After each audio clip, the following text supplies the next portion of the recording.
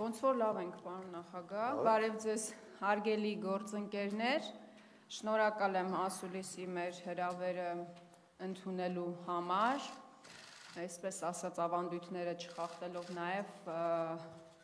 պարոն նախագահ հանդես կգա կարճ ներածական խոսքով։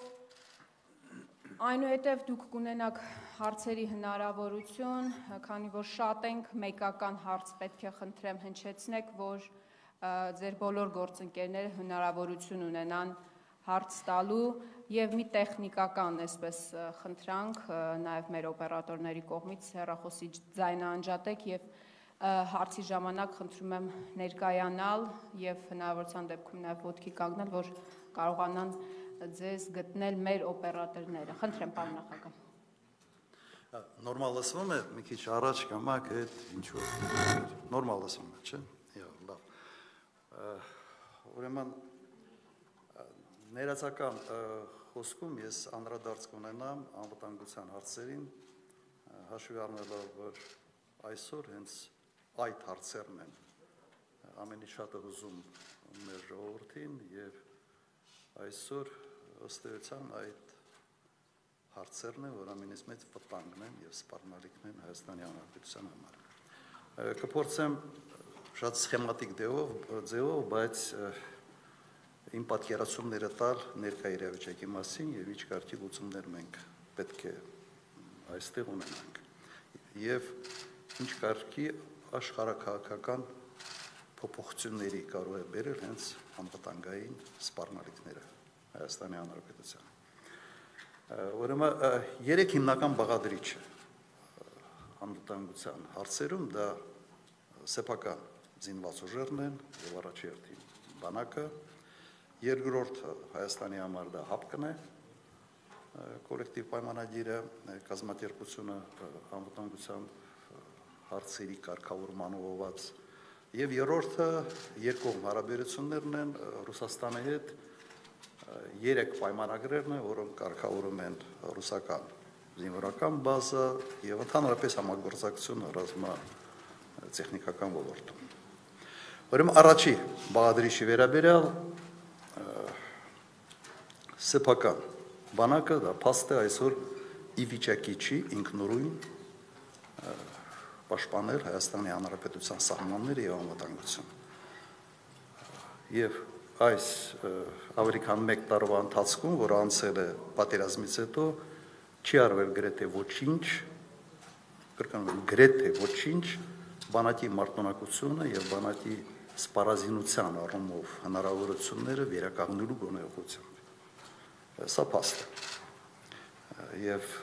նոյեմբերին անցած տարվա Սիսիանի դեպքերը վարապացույցն է, իսկ վերջերս այդ 300-400 դոլարանոց լրտեսների բացահայտումները խոսում է ուղղակի բարոյա հոգեբանական վիճակի մասին նաև մեր զինված ուժերում։ հաստատված բյուջեն բանակին որևէ հույսներ չի շնչում, որ մոտակա ժամանակներում այս տեմպերով կարելի է ինչ-որ բան փոխել։ Կառավարությունը բավարար ուշադրություն չի դարձնում, տպավորությունը այնպեսին է, որ մարտունակ բանակ այս իշխանությանը պետք չէ։ Նույնիսկ երբ դատախազների թոշակներ են ավելացնում, մոռանում են, որ կան սպաններ, որոնց այսպես ասենք, խարախոսելը եւ վերաբերմունք, որոնց նկատմամբ ցուսաբերելը այսօր շատ ավելի կարեւոր է Հայաստանի Հանրապետության համար։ Հիմա երկրորդ բաղադրիչը դա հապկն է։ Երևի հունվար ամսին դա ամենից հաճախակի, այսպես քննարկվող թեման է եղել, թե հապկը կա, թե չկա, մեռած է, մեռած չի եւ ինչի հապկը չմիջամտեց,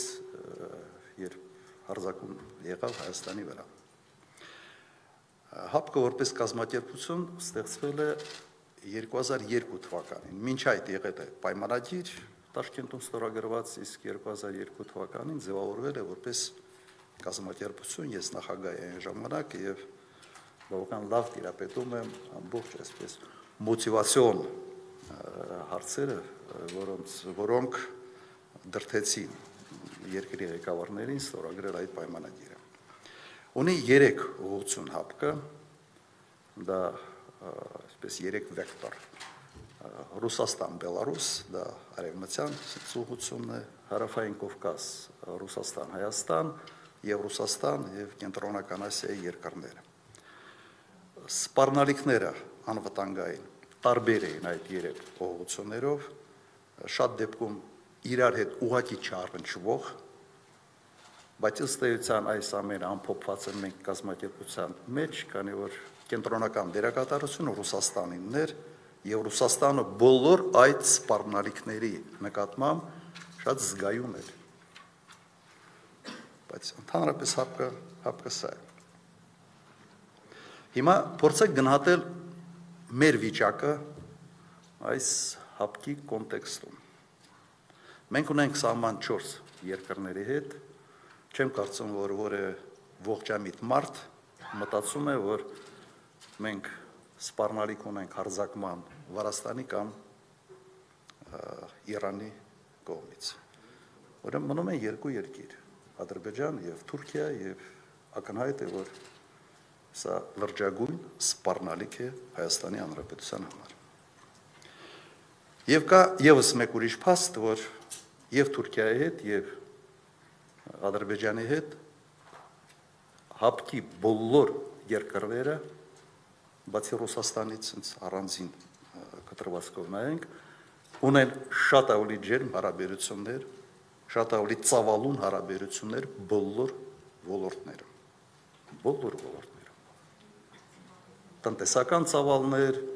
միջպետական շփումներ, միջպետական պայմանագրային բազա, մշակութային եւ այլ եւ այլ բոլոր ոլորտներում։ Ավելին, Թուրքիայի եւ Ադրբեջանի հետ նաեւ մաս են կազմում մեկ այլ կազմակերպության թուրքախոս մի մասը այդ պետությունների կենտրոնական Ասիայի պետությունների։ Եվ ազնական շփումների մակարդակով նաեւ այդ պետությունների առաջնորդները շատ ավելի մտերիմ են Ադրբեջանի նախագահի հետ։ Հետևաբար մտածել, որ որևէ կերպ հապկը կարող է արձագանքել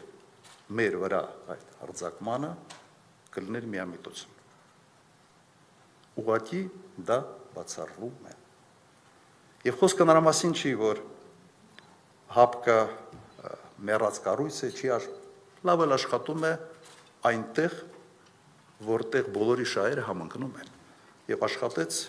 Ղազախստանի բարակայում։ Սա փաստ է եւ մենք ուղղակի այս փաստի հետ պետք է հաշվի նստենք մնալ փաստ հապկում թե չմնալ, իհարկե մնալ։ Առաջինը չկա այլ կառույց, որը կարող է փոխարինի հապկին, եւ երկրորդը այդ կազմակերպության շրջանակներում կամ բազմաթիվ պայմանագրեր, որոնց շրջանակներում մեր նաև համագործակցությունը Ռուսաստանի հետ ռազմատեխնիկական ոլորտում ինչ որ չափով կարգավորվում է։ Կրկնում եմ, մնալ, համագործակցել, բայց անվտանգության տեսանկյունից հույսեր չկապել։ Բացի հայտարարություններից այստեղ ուղղակի ոչինչ չի լինելու։ Ну կարող եք հարցնել Ղազախստանի հարցում ինչպիսին է եղել, եթե դա կհետաքրքրի, կհետաքրքրի, ես հետո կարող եմ հանրադարձում ունենալ այսօր զուր ժամանակ չկորցնենք դրա վրա։ Հիմա երրորդ բաղադրիչը անվտանգության դա Ռուսաստանի հետ մեր հարաբերություններն են։ Եվ այսօր միայն այս գործոնն է այն երաշխիքը անվտանգության ոլորտում, որը գործում է Հայաստանի Հանրապետություն տարածքում։ Այսօր այսօր սա սա գործող հանգամանք է, բայց այս պատերազմը բացահայտեց այստեղ որոշ հարցեր։ Որոշ խնդիրներ ավելի ճիշտ կասեմ Առաջինը Ռուսաստանի հետ սահմանի բացակայությունը ցույց տվեց Ռուսաստանի միջամտության եւ օժանդակության հնարավոր, այսպես ասենք, որոշակի լիմիտներ։ Մինչ այսօր պատասխանը չկա, թե ինչու Վրաստանի օթային տարածքը փակ էր բեռնափոխադրումների համար ռազմական բեռնափոխադրումների համար մեր իշխանությունները հաշվարկել են որ կարող է այդ տարածքը փակ լինի թե չեն հաշվարկել թե իրենց համար էլ էր սա անակնկալ Մինչ այսօր պատասխանը չկա, թե ինչի պատերազմի առաջի երկու շաբաթվա ընթացքում Իրանի օդի տարածքը եւս փակեր։ Եվ այս երկու գործոնը շեշտակի ազդեցություն ունեցավ պատերազմի արդյունքների վրա։ Սա եւս փաստ է։ Հիմա եթե չեն հաշվարկել մեկ մեղադրանք կարող է առաջադրել, եթե հաշվարկել են այնուամենայնիվ 20 թվականի ամռանը գնացել են թաուշում, այսպես կոնֆլիկտ հրահրելու, սա մեկ ուրիշ, այսպես մեղադրանք կարող է առաջացնել այս իշխանությունների նկատմամբ։ Բայց սա փաստ է։ Հաջորդը Ռուսաստանի միջնորդ լինելը Ղարաբաղյան կարգավորման մեջ որոշ չափով ես կասեի նույնիսկ էականորեն սահմանափակում է Ռուսաստանի այսպես ազատության քայլել ձեռնարկելու ազատության ազատություն սա եւս փաստ է եւ երրորդ հանգամանքը որը բացահայտվեց այս պատերազմի ընթացքում դա Թուրքիայի դերակատարության շեշտակի աճը հարավային Կովկասում հիմա ընդհանուր այս երեք բաղադրիչները, եթե մենք մեկ կոնտեքստում նայենք, իհարկե պատկերը տխուր է։ Եվ ես չես, չեմ տեսնում հիմա որևէ լուրջ քայլեր, որոնք կփորձեն չեզոքացնել, փոխել այս իրավիճակը եւ չեզոքացնել այս մարտահրավերները։ Բայց չկա։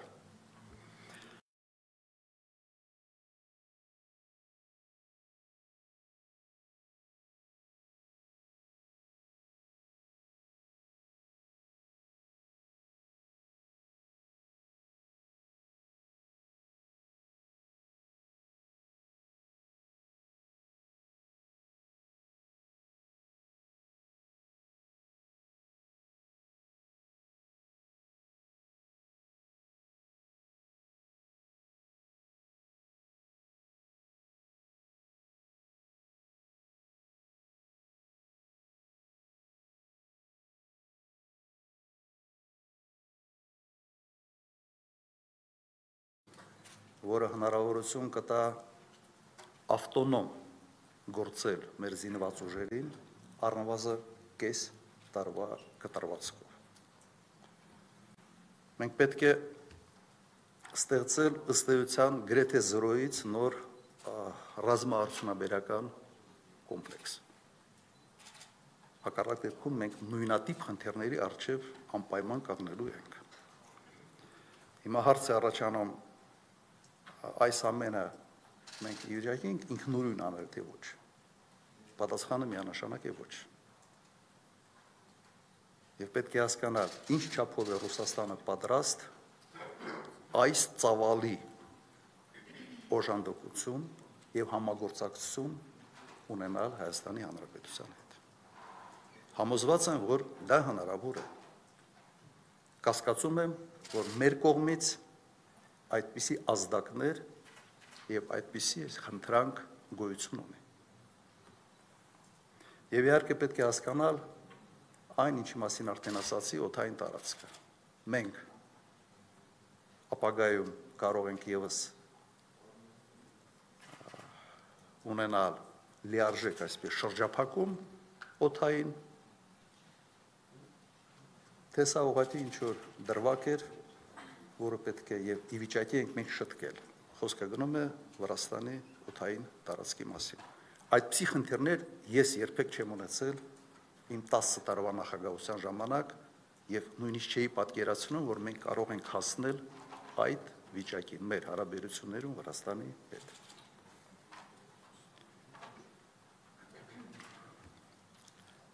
Հիմա միակ ճանապարհն է սա թե ոչ։ Ոչ միակ ճանապարհը չի Հայաստանի համար, կա նաև ուրիշ ճանապարհ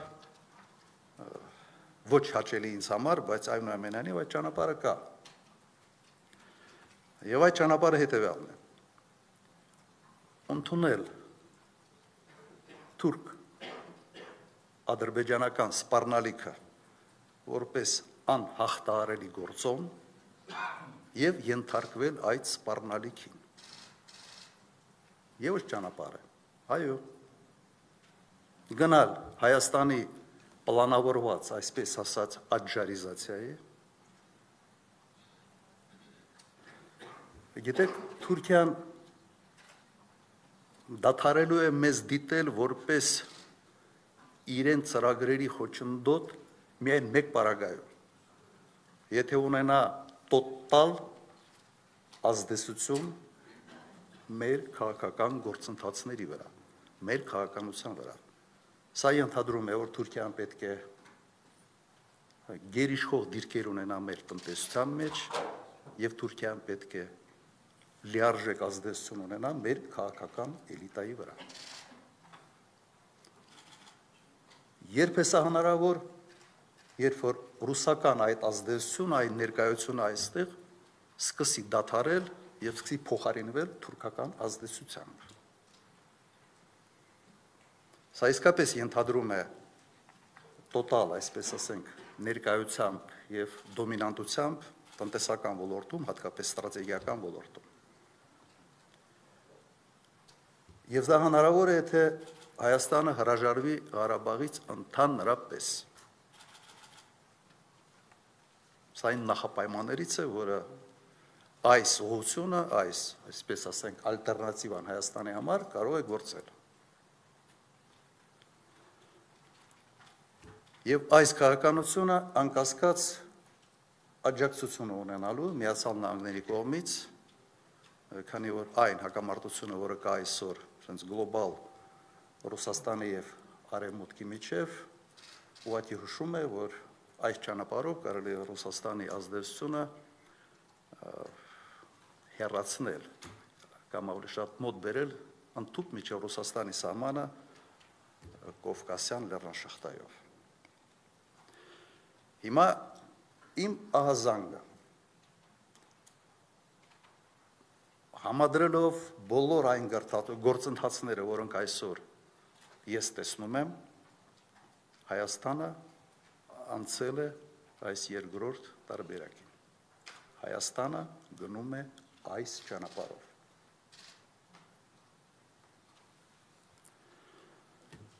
Տարբերություն այս ճանապարհների մեջ հետևյալն է։ Ռուսաստանին ձեռնտու է ունենալ հարավային Կովկասում ուժեղ դաշնակից։ Եվ մենք այդպեսին ենք եղել միջև այս վերջի պատերազմը։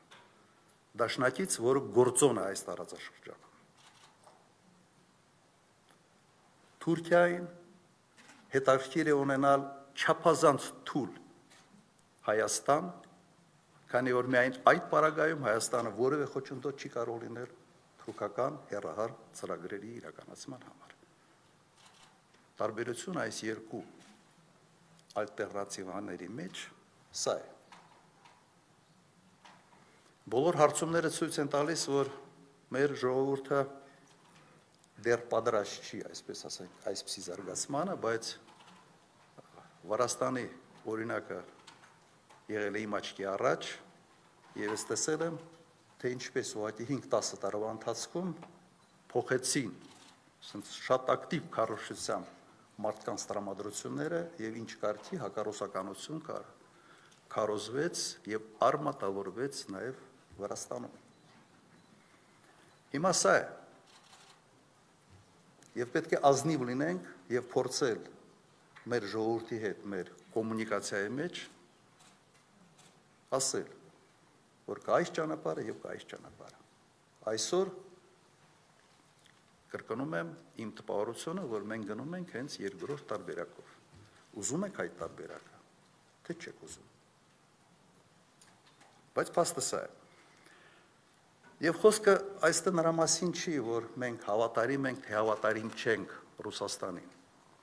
Երբ որ պետական կամ միջպետական կամ ազգային շահերից ենք խոսում, պետք է շատ ստապ հաշվարկ անել։ Ինչ ենք ստանում մի դեպքում, ինչ ենք ստանում մյուս դեպքում։ խոսքը կրկնում եմ հավատարմության մասին չի։ Խոսքը Հայաստանի ապագայի տեսլականի մասին է։ Թե որ տարբերակն է բերելու ավելի ուժեղ, ավելի կազմակերպված եւ իրենից գործոն ներկայացնող Հայաստանը տարածաշրջանում։ Գիտեք, մի բրիտանական ասացված կա, որը որոշակ որոշ չափով sense մշակույթային առումով բնութագրում է մարդկային հարաբերությունները, ասում են ուզում ես հավատարիմ ընկեր ունենալ, շուն պահի։ Շատ հայտնի ասացվածք է բրիտանական, ռուսական մի հումորիստ, շատ հայտնի Զադորնովը դա վերաձևակերպել է։ Եվս հետարքիր ձևով, որ եթե ուզում ես լավ ընկեր լինել, պարտադիր չի շուն լինես։ Այստեղ խոսքը գնում է ուղղակի քաղաքականության մասին, խոսքը գնում է մեր պետական եւ ազգային շահերի մասին։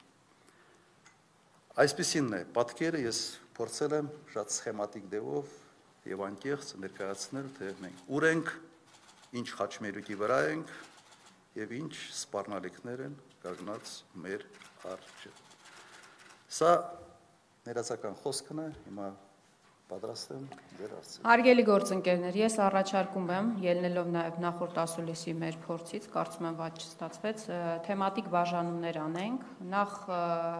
խնդրում եմ հնչեցնեն հարցեր նրանք, որոնց հարցերը վերաբերվում են անվտանգային արտաքին հարաբերությանը, մասնավորապես հայ-թուրքական հարաբերություններ եւ ըստ էության նաև Արցախյան հիմնախնդրին վերաբերող հարցեր, այնուհետև երկրորդ, այսպես բլոկով կանդրադառնանք բուն ներքաղաքական հարցերին, մեդիա հաբ, նախորդ անգամ մենք հնարավորություն չէինք ընձեռել հարց տալ, խնդրեմ եւ եթե կարելի է հնարավորության դեպքում ոդկի կանգնել, որ օպերատորները ձեզ կարողանան գտնել։ Շնորհակալ եմ։ Ես մի բան ուղղակի ավելացնեմ, միշտ ավելի հետաքրքիր է, երբ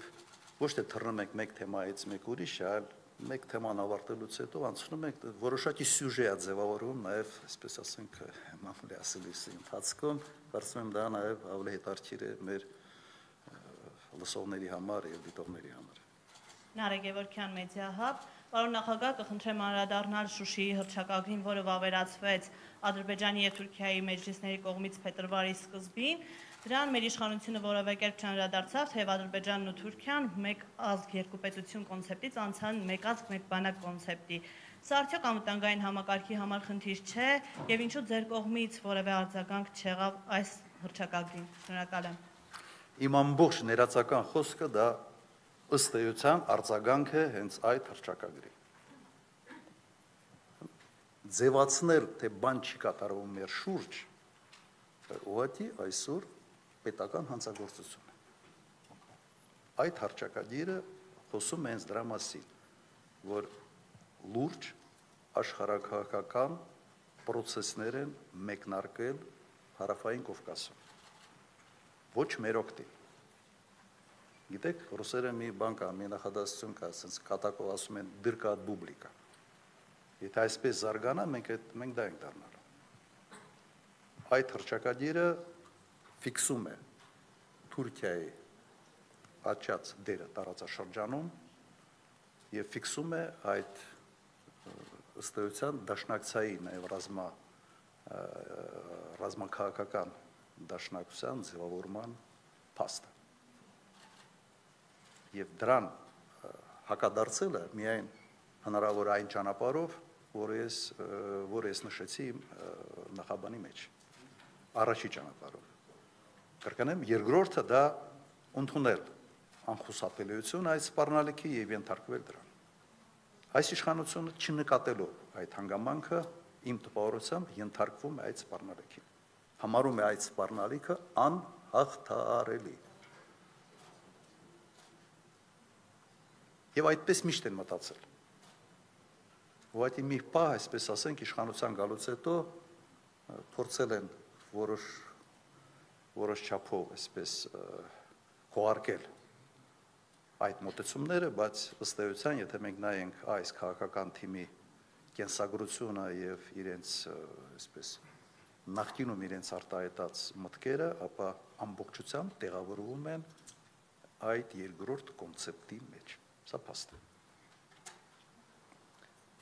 Եվ նաև մենք շրջանառության մեջ ենք, պարոն նախագահ, խմբակցությունը դրել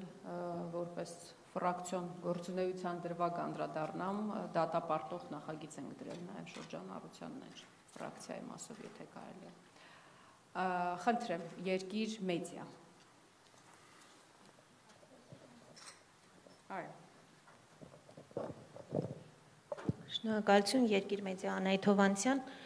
Պարոն Քոչարյան, թեև միութենական պետության այդ գաղափարը այսպես պաշտոնական օրակարգում չէ, բայց վերջին շրջանում թե իշխանությանը, թե ընդդիմությանը սուր քննադատում են, որ կոշտ չեն արձագանքել այդ առաջարկներին, հայտարարություններին եւ չեն հայտարարել, որ Հայաստանի անկախությունը մեզ համար բացարձակ արժեք է։ Ձեր դիրքորոշումը միութենական պետության այդ հայցակարգին եւ մեկ հստակեցում արդյոք ձեր նախագահության տարիներին նման քննարկումներ եւ առաջարկներ եղել են թեկուզ կուլիսային մակարդակով։ Շնորհակալ եմ։ Կարող եք հստակեցնել ինչ առաջարկի մասին է խոսքը։ Գիտեք, Լուկաշենկոյի հարցազրույցը որպես առաջարկ չեմ կարծում որ Միգուցե միանգամից սկսեմ Լուկաշենկոյից։ Հա, դե լավ եմ ճանաչում իրեն, կարելի է Լուկաշենկոյին ընդունել, չընդունել, հարգել, չհարգել, բայց մի բան փաստ է։ Ինքը ասում է այն, ինչ մտածում է։ Միշտ չի որ պետության ղեկավարը պետք է ասի այն, ինչ մտածում է, բայց ինքը ասում է այն, ինչ մտածում է։ Ինձ համար մի քիչ անհասկանալի էր այն բուրը արձագանքը, որը Հայաստանում տեղի ունեցավ իշխանության իշխանական թիմի կողմից, որովհետև այնինչ ասում էր Լուկաշենկոն հնարավոր չի ուղղակի համ- համեմատել այն ամենի հետ, ինչ ասում էր Ալիևը Հայաստանի նկատմամբ։ Զրո արձագանքով Հայաստանի կողմից։ Ինչի են ակտորացել Լուկաշենկոյի պարագայում։ Իհարկե չպետք է այդ տոնով ասեր, որ իմ կարծիքը որոշակի կոռեկտության, այսպես բանը պետք է պահել ան- անկասկած, բայց մենք պետք է նաև իմանանք հետևյալը։ Ինքը ասել է այն, ինչ ուրիշները մտածում են։ Սա փաստ է։ Բոլորը մեր մասին այդպես են մտածում, ակուդա անի ձենուցա։ Այդ այդ ֆորմուլայի մեջ։ Եվ այսօր իշխանությունը անում, է ամեն ինչ, որ հենց այդ մտածելակերպը արմատավորվի եւ, կամ կամ չեն փորձում չեն անում ոչինչ, որ այլ պետությունների ղեկավարները սկսեն այլ կերպ մտածել մեր մասին։ Հիմա ինչ վերաբերում է միութենական, հա, ընդհանուր ընդհանուր պետության։ Նայեք, այսօր աշխարհում կան ինտեգրման այնպիսի մոդելներ, որով բոլորը հիանում են, օրինակ Եվրոմիություն։ Այն ինչ կատարվում է այսօր այդ միությունը, որը Ռուսաստանի եւ Բելարուսի միջև է, հերու է իր ինտեգրման աստիճանից Եվրոմիությունից։ Այսօր աշխարհում իմ իմ կարծիքով չպետք է sense ապրիորի վախենալ որևէ նման ինտեգրման process-ներից։ Ուղղակի պետք է նստել ու հաշվել, ինչ է ստանում, ինչ է զիջում։ Շատ սառը հաշվարկ պետք է ունենաս։ Դեռ այդպիսի առաջարկ չի եղել։ Իմ հետ նման հարց իմ նախագահության օրոք չի քննարկվել։ Մենք այդպիսի նախաձեռնություն չենք ցուցաբերել եւ չենք համարել, որ դա հասունացած էր այն ժամանակ։ Բայց հիմա նման կարգի, այսպես գործընթացներին պետք է վերաբերվել շատ պրագմատիկ եւ կրկնում եմ հաշվարկի հիմքի վրա։ Ոչ թե կենցաղային մոդելով and դու ինձ ես քեզ, այլ շատ շատ կոնկրետ հաշվարկով ինչ վտանգների առաջ են կանգնած, ինչ սպասելիքներ ունենք մենք կամ ինչ են մեզ առաջարկում, ինչ ենք մենք կորցնում, ինչ ենք ստանում։ Քանի որ չկա առաջարկ, չկա ընդհանրապես քննարկում, հիմա դժվար է գնահատել։ Հասկանալի է։ Կլինի առաջարկ, պետք է քննարկել, պետք է շատ շատ ստապ հաշվարկով մտնել կամ չմտնել նման կարգի process-ների մեջ։ Ես տեսնում եմ մեկ բան, որ առաջին մոդելով գնալու համար Ռուսաստանի հետ մենք պետք է ունենանք շատ ավելի խորացված հարաբերություններ։ Ու չկա այլ երկիր, որը շագրգռված կլինի մեզ նորից գործոն սարքել այս տարածաշրջան։ Չկա ուղղակի ուրիշ երկիր։ Այդ ալտերնատիվա մենք։ Ես նկարագրեցի թե ինչպեսին է։ Դրամ հենց հիմա այս հարցի վերաբերալ, այսպես կիսա պատասխան է, բայց այս վիճակում ենք այսօր ընդունում եմ, որ կիսա պատասխանը։ Այո։ 5-րդ տալիք։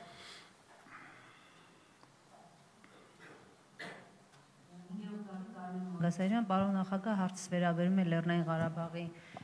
հակամարտության կարգավորմանը, Ալիևը գիտենք հայտարարում է հարցը փակվել է, Մինսկի խմբի համանախագահ երկրները շարունակում են ասել, որ պետք է կարգավորվի, ինչ է կարծում, ինչպիսին է իրավիճակը հիմա եւ արդյոք Հայաստանի իշխանություններից ինչ որ բան կախված է այդ գործընթացը սկսելու համար։ Ընդհանրապես ինչ իրավիճակում է հիմա այս քաղաքական գործընթացը։ Շնորհակալ եմ։ Իմ տպարությունը, որ Հայաստանի իշխանությունները այդ թեմայից չեն ուզում խոսալ ընդհանրապես։ Եվ նպատակը հետևյալն է, որ մեր հանրության մոտ նաև Ղարաբաղում այս հարցում իրենց հետ որևէ հույս չկապեն։ Այն դեպքն է, որ ասում եկել եմ, այն անեկդոտի պես էլ, ասեմ, որ իմ հետ իմ հետ հույս չկապեք։ Եվ եւ սա աշխատելու է, ես ձեզ ասեմ։ 1 տարի, 1.5, 2 տարի Ղարաբաղից չխոսալով ընդհանրապես տպավորությունը ստեղծվել է, որ հենց Ղարաբաղի հարցով հարցի հետ մենք այլևս էլ առանձնապես կապել չունենք, Եթե հարցեր կա, գնացեք ռուսների հետ քննարկեք, էլի խաղապահները իրենք են, անվտանգության երաշխավորողները իրենք են։ Ես կարծում եմ արվում է գիտակցաբար։ Հիմա ինչ վերաբերում է բանակցային գործընթացի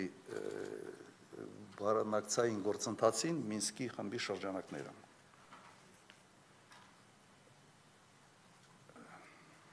Ես մեկ-մեկ ուզում եմ պատկերացնել այդ բանակցությունների առաջի փուլը, հանդիպեցին մեկ սեղանի շուրջ։ Հանդիպեցին Ղարաբաղի հարցի բանակցությունների ասենց ապագան որոշելու համար։ Ինչի մասին են խոսելու։ Օրինակ Հայաստանի պատվիրակությունը կամ պատվիրակը ինչ թեմա է քննարկելու։ Դու կարող ես ինձ որևէ մեկը ուղղակի բացատրել։ Ինչ տարբերակ են քննարկելու։ Ոնց որ մեր լարագրողներն են անում նախքին կներեք, մեր падգամավորները խորթարանում ադրբեջանական կողմը այսպես ձայնագրությունը դնելու է, միացնելու է։ Ասում է ձեր ղեկավարը ընդունում է եւ ամբողջ հայ ժողովրդին համոզում է որ տարածքային ամբողջականությունը Ադրբեջանին վաղուց ճանաչված է Հայաստանի կողմից։ Երկրորդ կետով այդ նույն բանը սխմելու են ձայնագրությունը, ասելու են ձեր ղեկավարը ընդունում է որ երբևէ նույնիսկ տնտե նույնիսկ տեսական 16 թվից, եթե չեմ սխալվում, նույնիսկ տեսական շանսեր չի եղել քննարկել Ղարաբաղի կարգավիճակ Ադրբեջանից դուրս։ Եվ ընդհանրապես ձեր ղեկավարը կասկածի տակ է դրել Ղարաբաղի հայկականությունը։ Ինչ են քննարկելու։ Մի հատ կարող ինձ բացատրել։ Ես այդ բանակցությունների մասնակցել եմ շատ եւ շատ անգամներ։ Առաջի բանակցությունները, որտեղ Ղարաբաղի պատվիրակությունը մասնակցություն ունեցել Ռոմում։ Ես այդ մաս, այդ բանակցությունների մասնակից եմ եղել։ Բարիս Արաշանյանի հետ։ Հիմա ես անկեղծ ասեմ, մեծ անհանգստությամբ եմ սպասում այդ բանակցությունների։ Նույնիսկ մտածում եմ, հիմա դրանք պետք են թե պետք չէ այնքան ժամանակ, ինչքան Հայաստանի Հանրապետությունում այս իշխանությունն է, որտե բանակցելու թեմա չկա։ Պետք է գնաս եւ ընդունես, որ հետագա բանակցային գործընթացը գնալու է Ադրբեջանի տարածքային ամբողջականության շրջանակներում ներառյալ Ղարաբաղը եւ շատ կասկածելի առումով հայկականության հարցը Ղարաբաղի եւս սեղանի վրա է լինել որ սա համայնքային հարց է հայկական համայնք ադրբեջանական համայնք այս վիճակում ենք մենք գտնվում եւ այս վիճակի մեջ մենք ենք մեզ գցել Այս մեծ նպատակ ունենալով ինչ որ արդարանալ ինչ որ մեղադրանքներից եւ այդ նպատակին արդարանալու զոհաբերվեց ամբողջ բանակցային գործընթաց։ Այսքանը Ղարաբաղյան հակամարտության թեմայով այս շարքում, եթե հարց կա, խնդրեմ հրանտ։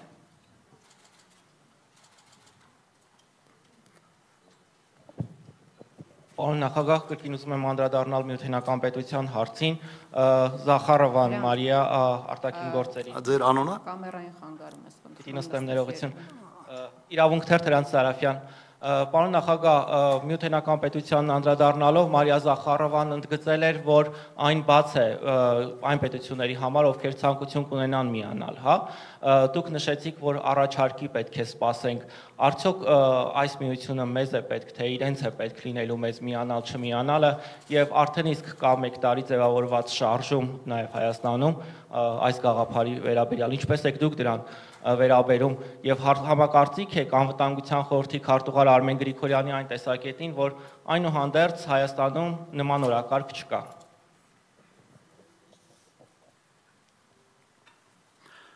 Իրենց համար երևի չկա։ Իրենց համար նաև չկա Հայաստանի անվտանգությունը ամրապնդելու օրակարգը։ Իրենց համար այո չկա հայ ժողովրդի ազգային շահերի հետապնդման հարց օրակարգում շատ շատ հարցեր այս իշխանության համար իրենց օրակարգում չկա բայց սա ինչ որ չափով վերադարձ է այն հարցին որը հնչեցրեց երկիր մեդիա լարագրողը այստեղ այստեղ ուղղակի ավելացնելու բան չունեմ եթե դու կարող եք սպეციფიկ ինչ որ բան շեշտել ես կավելացնեմ բայց ուղղակի ես պետք է կրկնեմ այն ինչ արդեն ասել եմ Այս շարքից նյուզը ձերք եք բարձրացնում։ Նայեք, կան երկու բառ։ Կան լրջագույն օրակարգային հարցեր, որոնք կարող են, որոնց, այսպես ասենք, լուծումները պետք է Հայաստանի Հանրապետությունը գտնի։ Բայց այդ լուծումները կախված են թե ինչ ուղղությամբ ես դու գնում։ Եթե դու գնում ես գործոն դառնալու ուղղության այս տարածաշրջանում, քո համբավը վերականգնելու եւ այն պետությունը լինելու, որի հետ հաշվի են նստելու այս տարածաշրջանում, որեն պետք է լուծումներ գտնես։ Լուծումներից հնարավոր լուծումներից մեկը կարող է լինել այդ միութենական պետության շրջանակներում, կարող է լինել։ Հասկանում եք, բայց այսօր իսկապես դա չկա եւ այդ process-ի նախաձեռնողը պետք է լինի Հայաստանի Հանրապետության իշխանությունը։ Ինքը պետք է ասի այս խնդիրների լուծումը մենք տեսնում ենք այս ճանապարհով, այս ճանապարհի համար պետք է այս, այս, այս, այս, այս քալել առաջի, երկրորդ, երրորդ, չորրորդ, քառորդ եւ այլն։ Հիմա չկա դա։ Հիմա ընդհանրապես չկա որևէ հայացակարգ, մենք ինչ ենք ուզում։ Գիտեք ինչու չկա։ Որովհետեւ դա երկրորդ ճանապարհն է, դա պոպուլար չի հիմա հնչեցնել, դա որոշակի խնդիրներ կարող է առաջացնել եւ շատ ավելի հարմար է դրա մասին չխոսալ, բայց այդ ճանապարհով գնալ միջև հանրային կարծիքը այդ քարոշչական տարբեր մեքենաներով հասունացնել այդ մոտեցումը ընդունելի դարձնելով ժողովրդի համար։ Այսօր այդ process-ի մեջ ենք։ Դրա համար տպավորություն է ստեղծում, որ ոչ հայացակարգ կա, ոչ բան կա, չենք հասկանում թե ինչ ենք անում, չենք հասկանում թե ուր են գնում։ Հասկանում ենք ուր են գնում։ Այսքան։ Նյուզեյեմ, խնդրեմ։ Նյուզեյեմ Արքինե Բաղդասարյան Պարոն Քոչարյան, դուք ձեր խոսքում էլ նշեցիք, որ Նիկոլ Փաշինյանը վերջերս հայտարարել էր, որ Հայաստանը ճանաչել է Ադրբեջանի տարածքային ամբողջականությունը։ Նա այդ հայտարարությունը արել էր որպես դրա վառ ապացույց հիշեցնել, հիշեցրել ԱՊՀ-ի հիմնադիր փաստաթղթերը Եւ իշխանությունները եւ ձեր այլ ընդդիմախոսներ ը, վերջերս հաճախ են նշում, որ 1999 թվականին Ստամբուլում ԵՀԿ գագաթնաժողովի փաստաթուղթը ստորագրելով դուք նույնպես ճանաչել եք Ադրբեջանի տարածքային ամբողջականությունը։ Կխնդրեմ սրա շուրջ ձեր մեկնաբանությունը։ Գիտեմ, որ մամուլի ասուլիսների ժամանակ հարց տվողները դուք եք։ Բայց թույլ տվեք ես էլ ձեզ մի հատ հարց տամ։ Բոլորիդ։ Այդ Ստամբուլյան փաստաթուղթը որևէ մեկը կարդացել է թե ոչ։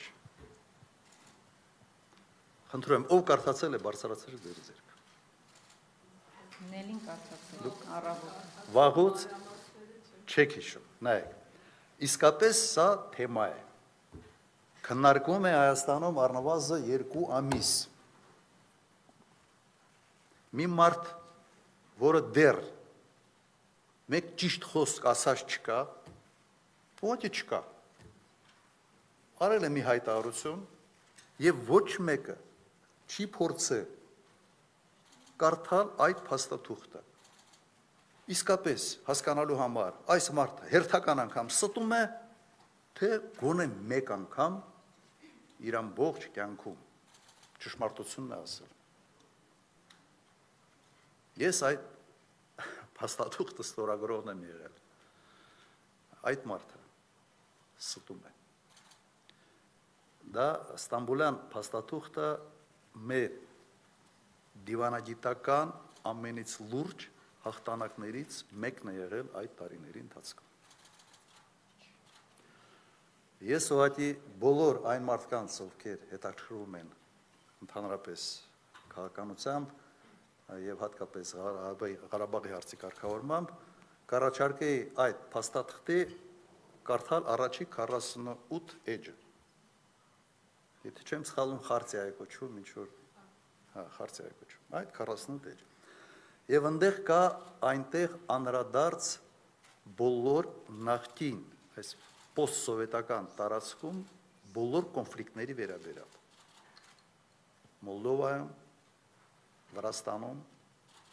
Ռուսաստանում, Չեչնիայի հարցներ այն ժամանակ Հայաստանում եւ գիտեք հետարքիր մի բան բոլոր կոնֆլիկտների վերաբերյալ այդ փաստաթղթի մեջ գրած է. Մենք հարգում ենք վերահաստատում ենք տարբեր ձևակերպումներով եւս մեկ անգամ պնդում ենք այդ երկրների տարածքային ամբողջականությունը եւ որ հարցը պետք է կարգավորվի այդ երկրների տարածքային ամբողջականության շրջանակներում Մոլդովայի տարածքային ամբողջականությունն է վերահաստատվում, Վրաստանի տարածքային ամբողջականությունը, Ռուսաստանի տարածքային ամբողջականությունը եւ միայն Ղարաբաղի հարցի կարգավորման այդ բարբերության մեջ չկա ոչինչ Ադրբեջանի տարածքային ամբողջականության մասին։ Հիմա դուք պատկերացրեք, ինչ աստիճանի էինք մենք հասել մեր դիվանագիտությունը, մեր բանակցային գործընթացը, որ ընդունվում է Լիսաբոնից հետո, որտեղ այդ տարածքային ամբողջականությունը Ադրբեջանի շեշտվում էր եւ Տեր-Պետրոսյանը այն ժամանակ իր վետո իրավունքը օգտագործեց։ Ստամբուլում, հենց Ստամբուլում մենք ստացանք այն փաստաթուղթը, որտեղ ի տարբերություն այլ կոնֆլիկտների որևէ բառ չի ասված։ Ես օգտվելով այս առիթից կառաջարկեմ Բագրատ այդ մասերը ուղղակի եթե հասցնենք տարանջատեք եւ բաժանեք բաժանենք մեր ներկա լարագրողներին սա է փաստը եւ գիտեք բանկա չէ հետարքիր մի բանկա ասում է կապ չունի դե թե դու ինչքան ազնիվ ես քո բացատրությունների մեջ մեկը հավատալու է նրան ով վարժորեն ստում է սա հայտնի եթե չեմ սխալվում հռոմեական այսպես մի միտք է այս վիճակն է եթե դու ասենց վարժված ես ստելու եւ անում ես առանց ամոթի ասենց մարդկանց աչքերի մեջ նայելով ինչ որ թատերական ինչ որ դրսևորումներ ապա ես հավատում եմ Ձեր հարցը, խնդրեմ, հետո ազատություն։ Հաստորաթերթ Լուսինե Արաքելյան,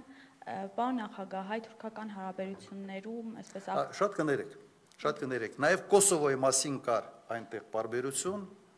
նույնիսկ Կոսովոյի մասին այնտեղ հստակ գրած է։ Ճանաչում ենք Հարասլավիայի, այն ժամանակ դեռ անունը Հարասլավիա էր։ Ճանաչում ենք Հարասլավիայի տարածքային ամբողջականությունը, նույնիսկ Բալկաններում, Կոսովոյի հարցում։ Փակեցինք այս թեման, թե եղավ, դա կարևոր թեմա է։ Խնդրեմ։ հայ-թուրքական հարաբերություններում որոշակի այսպես ակտիվություն է վերջին շրջանում նկատվում, քննարկումներ, հանդիպումներ,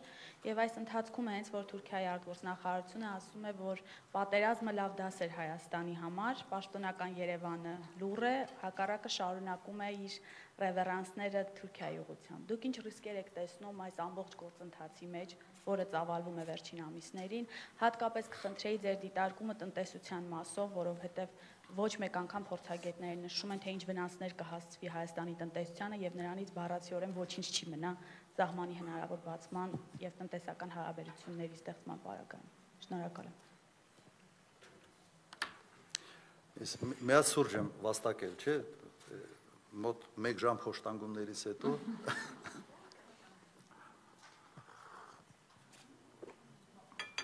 Հաջի կատակ եմ անում ես։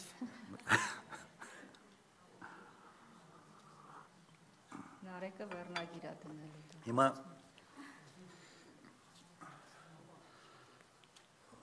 Թուրքիայի հետ հարաբերությունների հաստատմանը ես երբեք դեմ չեմ եղել։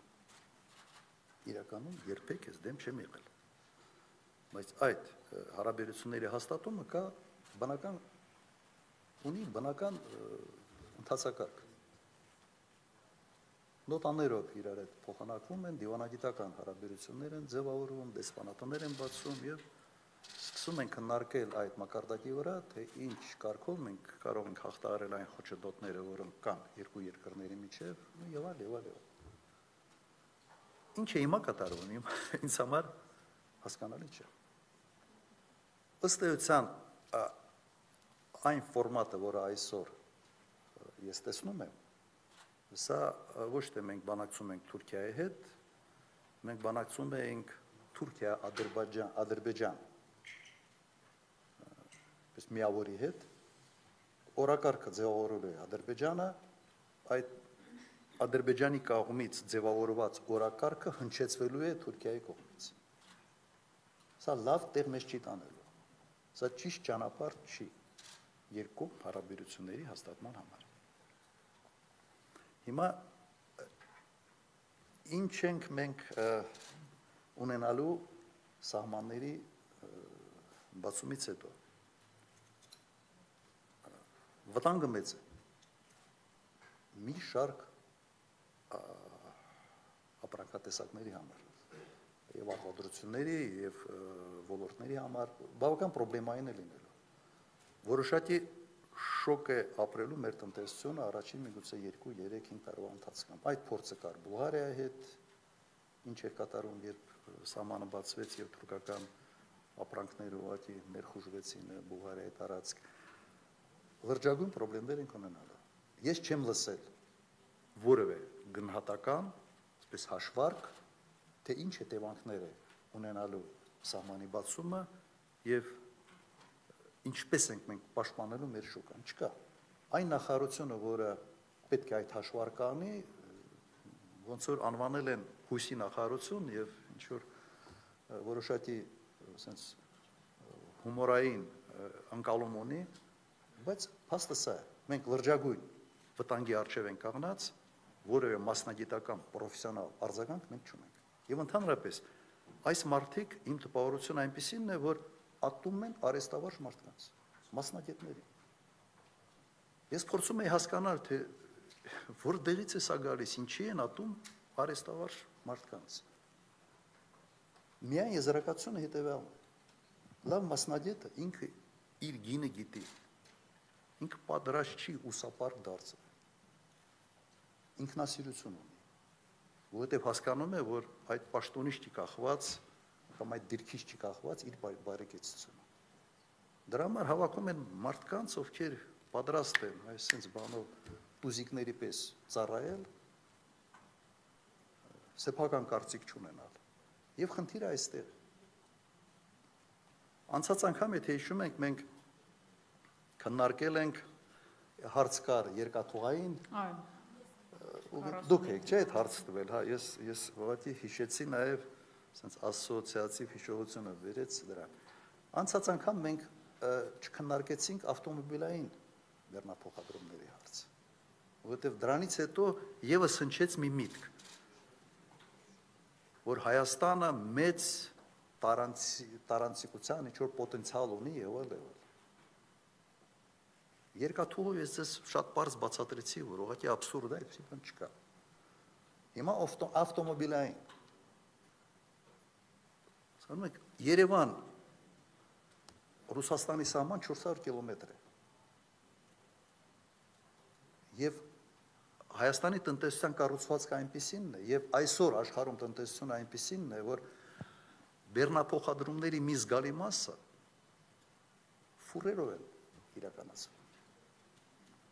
Դու այլ կերպ չունես ավելի կարճ ճանապարհներ ունենալու, եթե քո հիմնական ծավալը Ռուսաստանի հետ Բան չի փոխվելու։ Ավելին ասեմ, եթե Նախճեվանով սկսեն Հայաստան պարսկական բեռնափոխադրումները գալ, ապա Սյունիքով մի մեքենա չգնան։ Դու գնալու եք այդ ճանապարհին կանգնելու ենք եւ կարող է 2-3 ժամը մեկ մի հատ մեքենա տեսնեք, թե չտեսնեք։ Այդ վիճակում է հայտնվել Սյունիքը։ Իդեպ հերավորությունը, եթե Ադրբեջանով երկաթուղով բերենք միջև Ռուսաստանի սահմանը, կրկնակի ավելի երկար է լինելու։ Երկաթուղային։ Կրկնակի ավելի երկար Եվ դա մեզ ավելի է հերացնելու դեպի արև, արևելք այն շուկաներից, որտեղ հիմնականում մենք սպառում ենք մեր ապրանքները։ Կրասնոդարի շրջան եւ Մոսկվա։ Ոս առնվազն 800 կիլոմետրով ավելի երկար ճանապարհ է ստանալու։ Լավ, այդ քարտեզի վրա մենք չեն նայում այս մարդիկ։ Թե քարտեզն էլ է դիտում որպես արեստավարժ ինչ որ մի մի գործիք, որի նկատմամբ կա խորը ատելություն Իմ տպարությունը այդպեսին է։ Եվ հիմա բեռնափոխադրումների առումով, այսպես ասենք, իսկապես շուկայում շատ բան է փոխվել, աշխարհում բան է փոխվել։ Որովհետև մեծ այդ ֆորերի, մեծ մեքենաների հնարավորությունները դա պահեստից պահեստ միանգամից։ Երկաթուղին ենթադրում է ասենց երկաթուղով գնաց ինչ որտեղ ասավ, հետո ֆուրի մեջ տեղավորեցին ապրանք, հետո տեղափոխեցին պահեստ եւ այլ եւ այլ։ Հիմա ուղղակի շուկա են գնում։ Տանում են օրինակ մեր գյուղարտադրանքը միանգամից գնում է շուկա։ Նույնիսկ պահեստը չի։ Այդ տեսանկյունից ոնց հաշվարկի առումով փող է։ Ոչ թե չենք շահելու։ Այլ կորցնելու ենք։ Եվ նման կարգի քալերի գնալու համար այո պետք է հաշվարկ։ Դա չի նշանակում որ պետք չի դրան գնալ։ Ես համոզված եմ որ այո պետք է դրան գնալ բայց պետք է առնվազն 3-ից 5 տարվա ծրագիր ունենալ սեփական շուկան պաշտպանելու։ Թե դա սուբսիդիաների ճանապարհով կլինի, թե լարացուցիչ հատուկ մաքսատուրքերով թուրքական ապրանքի վրա Հայաստան ներմուծող տարբեր մոդելներ կարելի է կիրառել։ Ի վիճակը ուզում եք ասել, ի վիճակի բազմապատկել բաժանել է չգիտեմ, երևի հարցը նա է, որ ասենց ընդհանուր փաթեթի մեջ այս ամենը պետք է դիտվի։ Քաղաքական կամքի դրսևորման դրսևորման տեսանկյունից հայ-թուրքական հարաբերություններում չեմ կարծում, որ ի վիճակի է։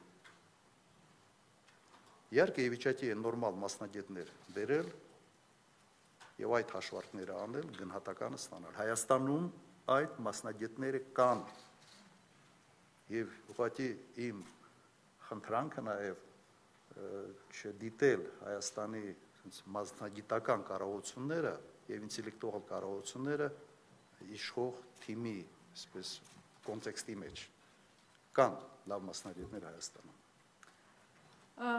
Ազատություն ռադիոգան նանե խնդրեմ։ Այնուհետև Շնորհակալություն Նանե Սահակյան։ Պարոն Քոչյան, մի ճշտող հարց ձեր նախորդ ասացի մասին։ Կներեք ձեր անունը Նանե Սահակյան, ազատություն։ Դուք միշտ փոխում եք, հա, ազատությունը միշտ։ Անունս չէ, անունս միշտ։ Չէ, չէ, չէ։ Ազատությունն է միշտ տարբերում։ Ինչ Խնդրեմ։ Պարոն Քոչյան, ես ուղղակի ուզում եմ ճշտել, ճիշտ հասկացա, դուք այս պահին կողմ չեք Թուրքիայի հետ սահմանի բացմանը, դա որպես ճշտող հարց եւ գործընկերոջս ասացիք ավելի սպეციფიկ հարց ուղի մի ութենական պետության հետ կապված, օրինակ Բելարուսին ախ Ալեքսանդր Լուկաշենկոն համարում է, որ մեր տարածաշրջանում միությունները առհասարակ փրկություն են, նկատի ունենալով ԱՊՀ ավելի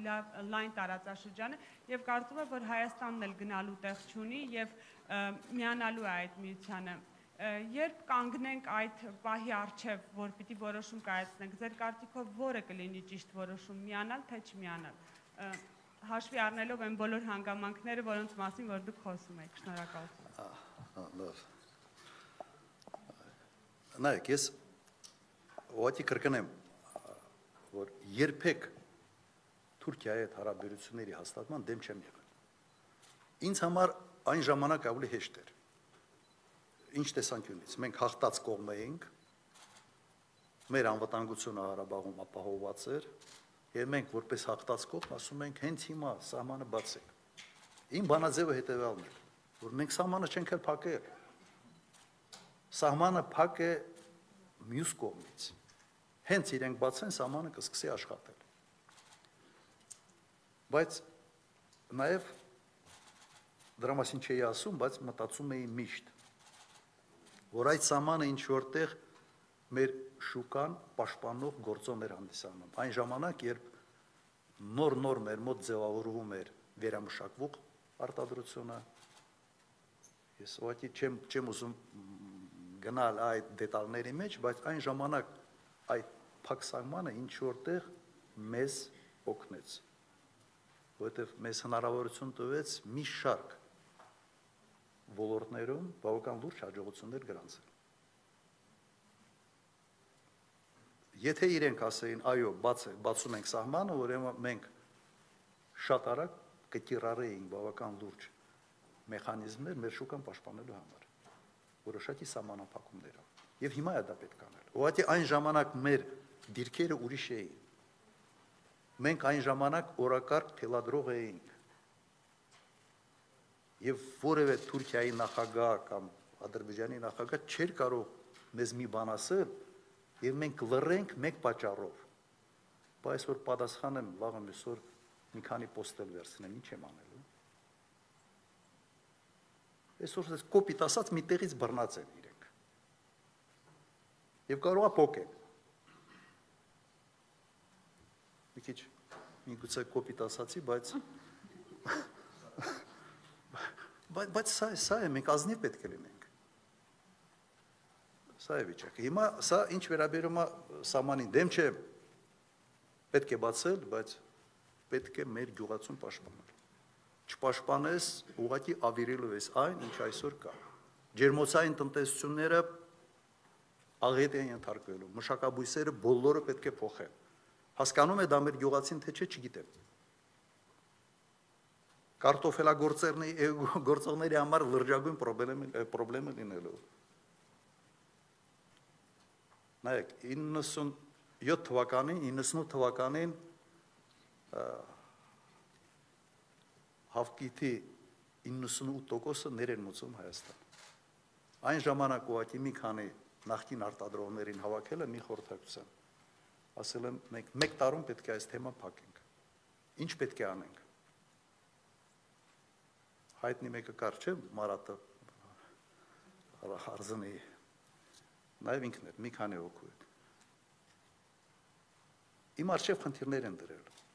1 2 3 եւ խնդիրներից մեկը սահմանափակել Թուրքիայից ներմուծումը Հայաստան Վրաստանով էր ներմուծում սահմանափակել սահմանափակեցինք եւ 1 տարում մեր շուկայի 90% արտադրվում էր Հայաստանում երկրորդ տարում մենք սկսեցինք արտահանել Վրաստան։ Հիմա այս իշխանությունը այդ համարձակությունը ունի, չեմ կարծում։ Եկեք Սպես ասեմ, ինձ հարցը հարցը իմ մոտ հնչեց տնտեսական կոնտեքստի մեջ։ Ես պատասխանում եմ այդ հարցին տնտեսական կոնտեքստի մեջ։ Բայց սահմանի բացելը վերջապես բերելու է այսպես ասենք նայեք,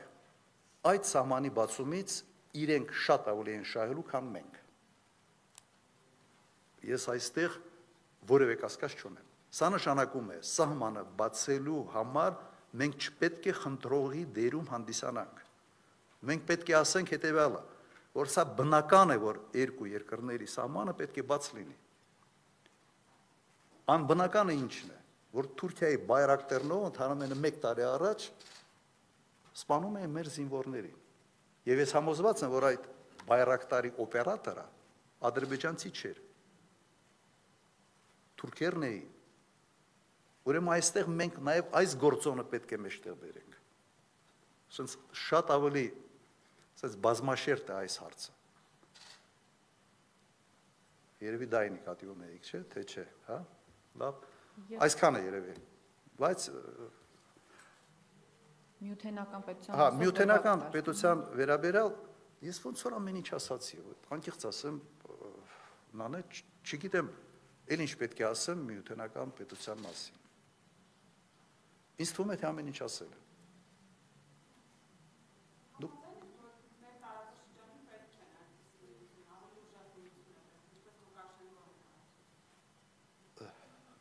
Նայեք, ես հարցին պատասխանեցի հետևյալը։ Մենք պետք է հաշվարկենք, ոչ թե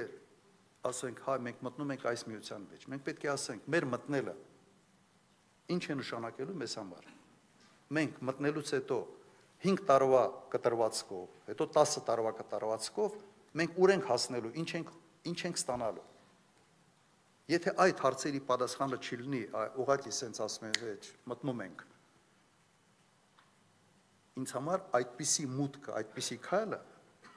պետության կողմից կլինի անհասկանալի։ Նայեք, ես ընկերներ ունեմ օրինակ Հունաստանում։ Ես հարցրեցի մեկ անգամ Հունաստանում լինելով հարցրեցի, թե դուք ինչ եք ստացել Եվրոմիության անդամակցության։ Եվ քանի որ իր մեքենան նստացրեց եւ Հունաստանում սկսեցինք շրջել ուր գնում ենք, ինչ ճանապարհ էր, ճանապարհով գնում ենք, ասում է, սա Եվրոմիության փողերով կառուցվեց, սա Եվրոմիության շնորհիվ կառուցվեց, սա Եվրոմիության շնորհիվ, սա Եվրոմիության շնորհիվ, հասկանում եք, սա իսկապես տպավորիչ էր։ Մեկ անգամ ես ինքս մեքենա վարելուց Խորվաթիայում, Սլովենիայում, ասենց Բալկանները հետարքիր էին ինձ համար այն ժամանակ, ուղղակի ուզում էի ասենց ավելի լավ ծանոթանալ այդ տարածաշրջանի հետ Եվ ում հետ շփվում ես, ասում են, «Ա Եվրոմիության փողերով էս կառուցվեց, էս կառուցվեց, էս արվեց, էս արվեց, էս արվեց»։ Բոլորը միանշանակ շահել են այդ միությունից։ Բայց մտնելուց իրենք արդեն գիտեին, թե իրենք ուր են մտնում։ Իրենց միգուցե սովորենության ինչ որ մի կոմպոնենտ զիջելով իրենք իրենց տնտեսական հզորության մեջ եւ իրենց անվտանգության հարցերում ինչ են ստանում։ Սա է շատ պրագմատիկ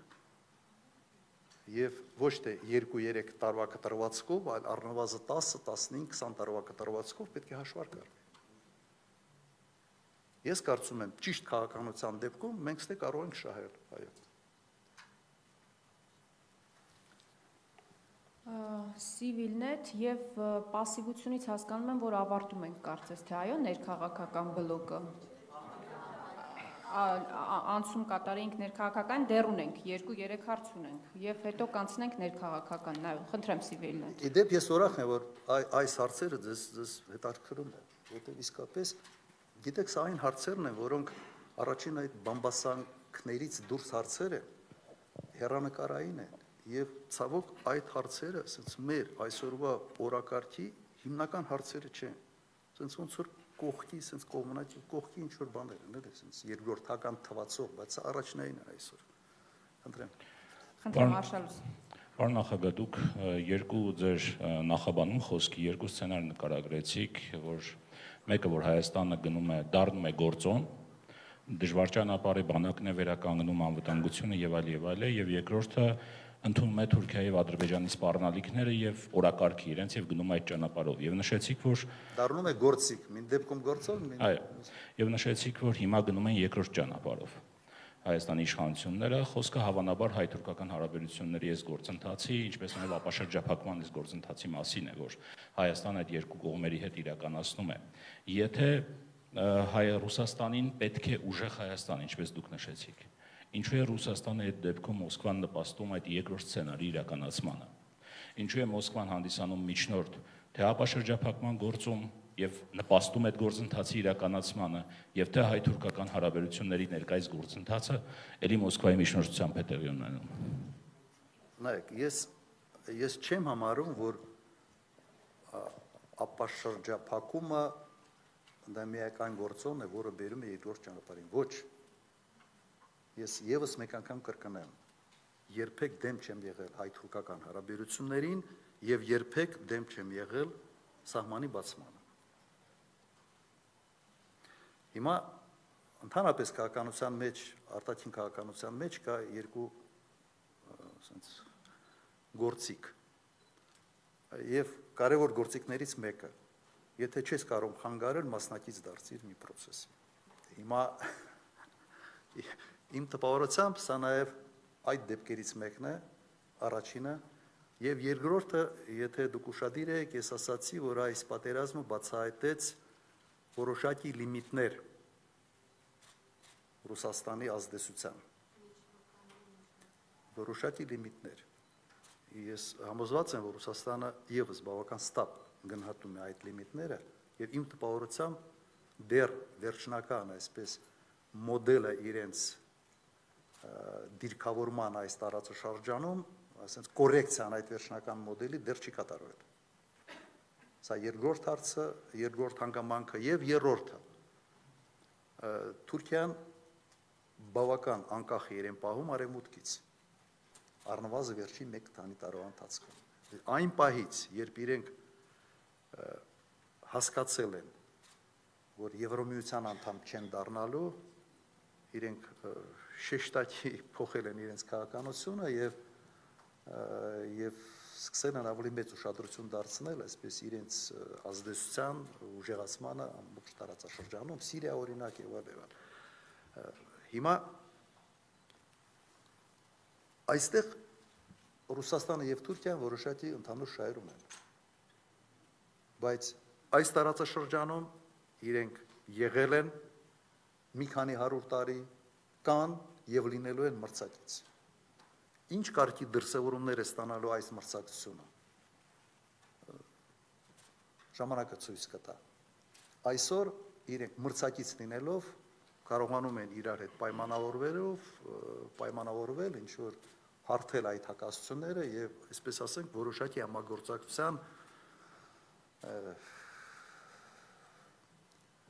համագործակցության ինչ որ մոդել են ձևավորում նայեք Էրդողանը գնում է Ուկրաինա,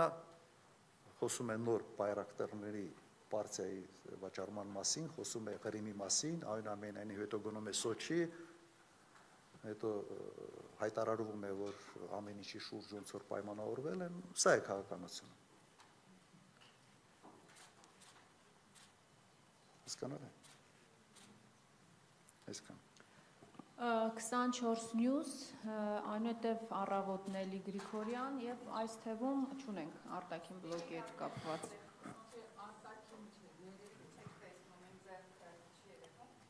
Այ հիմա տեսա ձեր ձեռքը թագոյի։ Արտաքին ենք։ Այս այստեղ ավարտենք ուրեմն արտաքինը եւ անցնենք ներքաղաքականին։ Խնդրեմ, Հերմինե։ 24 News Հերմինե Միքայելյան։ Նիկոլ Փաշինյանը Հերմինե Հերմինե Միքայելյան Պարոն նախագահ Նիկոլ Փաշինյանը վերջին ասուլիսի ժամանակ նշեց, որ Արցախը Ադրբեջանի կազմում չլինելու տնտեսական եւ գործնական հնարավորություններ չուներ։ Ձեր կարծիքով Արցախը չուներ հնարավորություն Ադրբեջանի կազմում չլինելու եւ այսօր ունի հնարավորություն հայկական պահելու եւ ինչ քայլեր պետք է ձեռնարկվեն այս ուղղությամբ։ Շնորհակալություն։ Իհարկե ուներ։ Ղարաբաղը Ղարաբաղի ձևավորման իրավական հիմքերը անխոցելի են։ Իսկապես անխոցելի Ուղղակի պետք է Ղարաբաղը դե ֆակտո պահել, բանակով պահել, չպարտվել, պատերազմ չհարարել, չպարտվել պատերազմում եւ տնտեսապես զորացնել Ղարաբաղը։ ու ժամանակի հարց էր։ Փաստացի ճանաչումը։ Այդպիսի կոնֆլիկտները արագ չեն լուծում։ Օրինակ այս պատերազմում եթե մենք չպարտվեինք, գոնե մի երկու շաբաթ 10 օր չնահանջեինք որևէտեղ, ամեն օր մենք նահանջել ենք։ Պատերազմը կկաղներ եւ հետո իսկապես հնարավորություն կստեղծվեր այս որոշակի ճանաչման գործընթաց սկսել։ Ունենք այն ինչ ունենք։ Եթե այսպես շարունակվի, մենք լրջագույն խնդիրներ ենք ունենալու։ Մենք ամեն օր կորցնում ենք որոշակի հնարավորություններ։ Ես ասացի բանակցային գործընթացում, չեմ պատկերացնում ինչ եմ բանակցելու։ Եվ եթե ամեն անգամ իշխանությունը այսպիսի ռմբեր դնի կամ նռնակներ դնի մի քանի հատ, ասենց բանակցային գործընթացի տակ, ապա մենք այդ բանակցային գործընթացով ոչինչ չենք հասնելու։ Մենք ընդամենը ամրագրելու ենք փաստացի իրավիճակը։ Ես լրջագույն խնդրեմ եմ տեսնում եւ համարում եմ, որ այսօր Ղարաբաղը շատ լուրջ դերակատարություն պետք է ունենա նաև իր հարաբերություններում Հայաստանի հետ։ Ստիբելով, պահանջելով, որ Հայաստանի իշխանությունները ուղղակի ավելի բացատրեն թե ինչ են անում, ուր են տանում։ Իմ տպավորությունը այնպեսինն է, որ բոլոր կողմերը զգայուն թեմա է, ծանր թեմա է եւ չեն ուզում այս հարցը քննարկել։ Հայաստանը խուսափում է ընդհանրապես այդ հարցի շուրջ խոսալ, ես բացատրեցի ինչ պատճառներով Ղարաբաղի իշխանությունը իմ տպավորությունն այդպեսին է, ես ուրախ կլինեի, եթե ես սխալվեմ այս հարցում, չեն ուզում այս թեման սրել հարաբերությունները չփչացնելու համար, որովհետև այսօր կախված են փախստականների ինչ որ համար շինարարության ֆինանսավորման հանգամանքով եւ մի շարք այլ հանգամանքներով Բայց սա նշանակում է, որ մենք քայլ առ քայլ, քայլ առ քայլ կորցնում ենք հնարավորություններ։ Եվ վերջում կաղնելու ենք կոտրած դաշտակի արժև, եթե մենք այսօր արդեն որոշ քայլեր չձեռնարկենք։ Օրվա հարցով չպետք է ապրի այսօր Ղարաբաղը։ Ղարաբաղը պետք է ասի, այ ես հեռանկար եմ ուզում տեսնել ապագա 3, 5, 10 տարվա համար Հերմինե ջան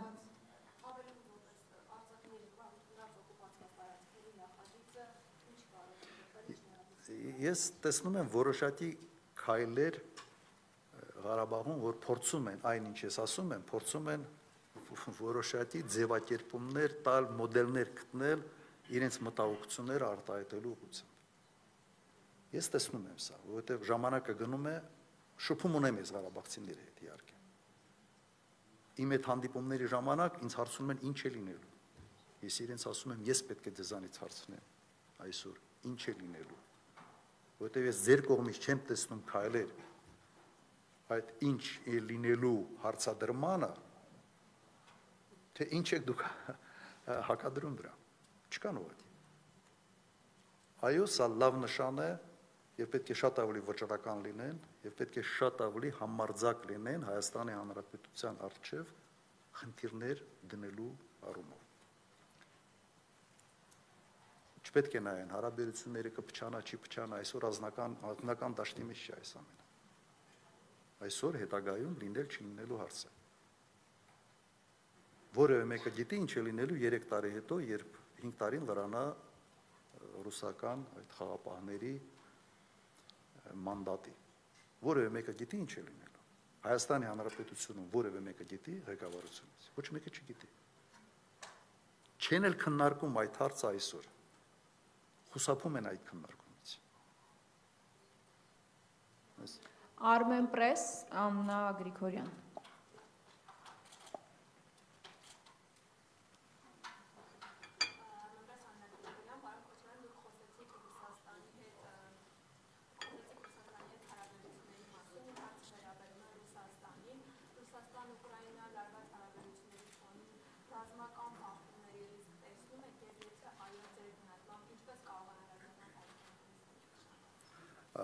Այո, ռիսկ տեսնում եմ։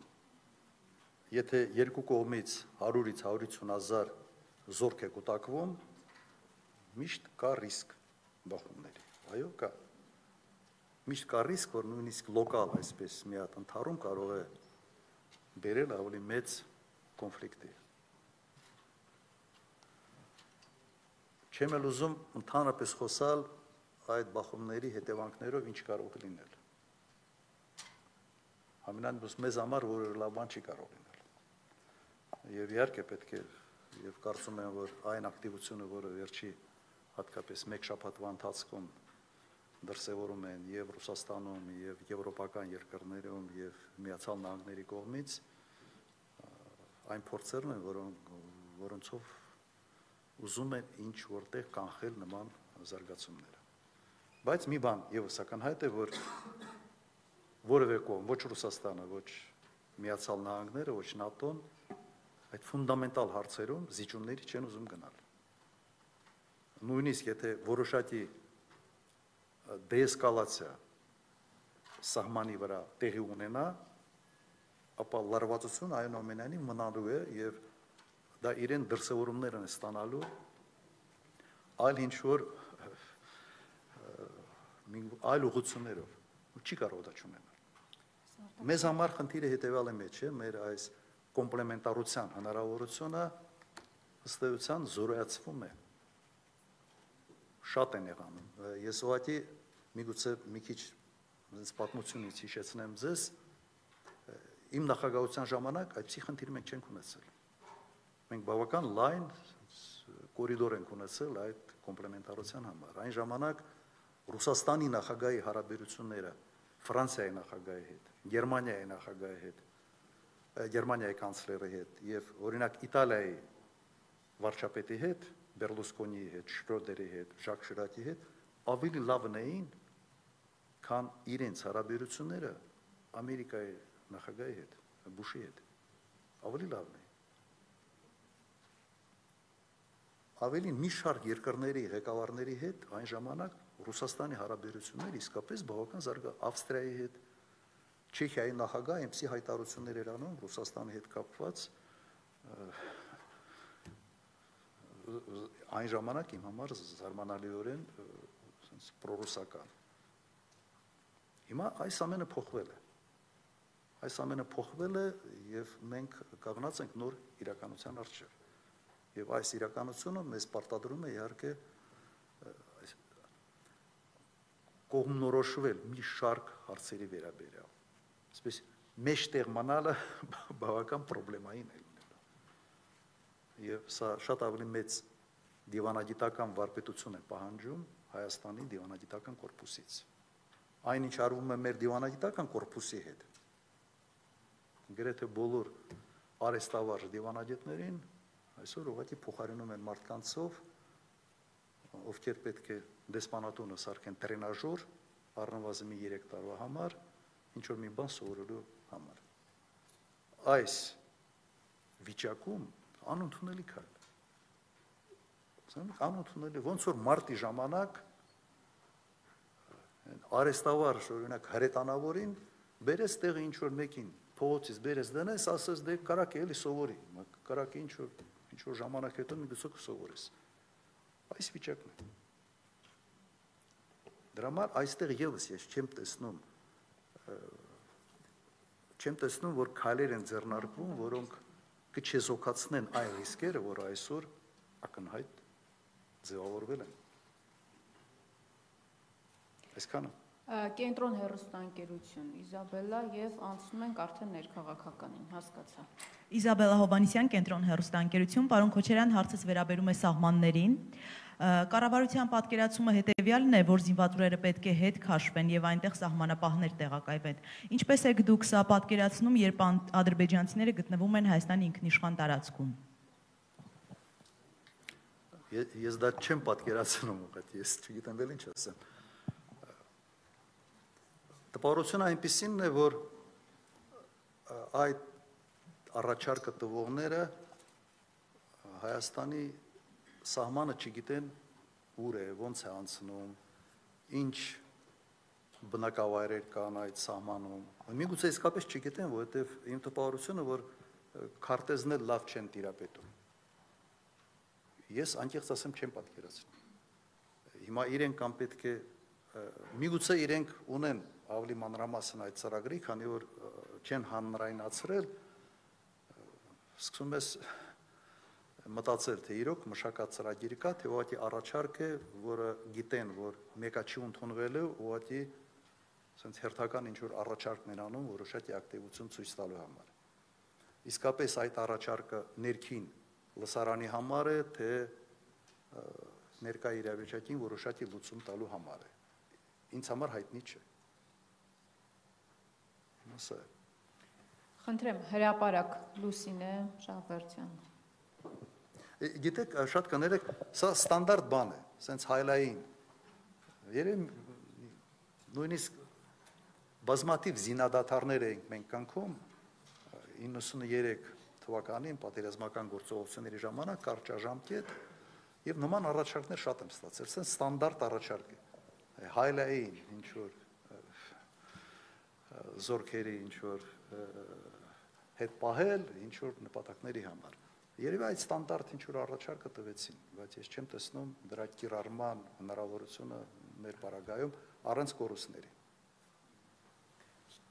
Խնդրեմ Լուսինե։ Շնորհակալ եմ։ Դուք այսպես շատ վատ, շատ ճգնաժամային իրավիճակ եք նկարագրում եւ նկատեցիք, որ իշխանությունների պահվածքը հուշում է, որ իրենց վրա չպետք է հույս դնել։ Ես ուզում եմ հարցնել, իսկ ինչ է անում ընդդիմությունը։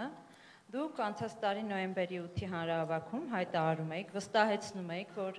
այս իշխանություններին վռնդելու եք, լինի դա բարիկադներով, թե ընտրություններով, Ավելին ասում եք, որ դա շփաթների, ամիսների հարց է։ Հետո հայտարարվեց, որ փողոցային պայքար եք սկսում։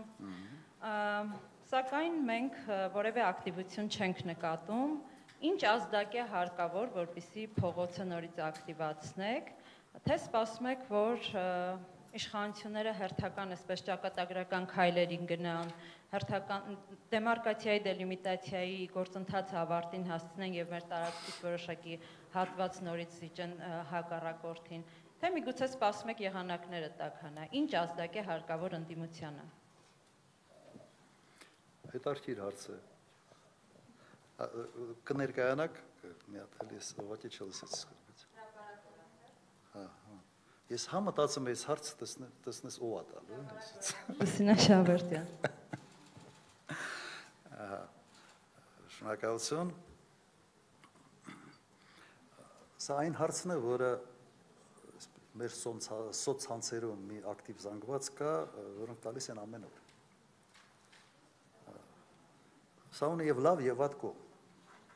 Լավը նա է, որ այնուամենայնիվ ակտիվ զանգվածը ուզում է, որ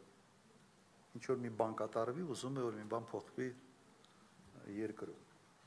Սա ոգևորիչ է։ Վատ է, որ սպասում են, որ միայն այսպես անդիմությունը դա պետք է անի առանց իրենց մասնակցությամբ եւ առանց ժողովրդի ակտիվ եւ զանգվածային ներգրավվածության։ Իրականում ես ուրախ եմ, որ այդպիսի հարց միշտ հնչեցնում է, որովհետև սա ստիպում է մեզ, ստիպում է նաև ընդդիմությանը ճանապարհներ փնտրել եւ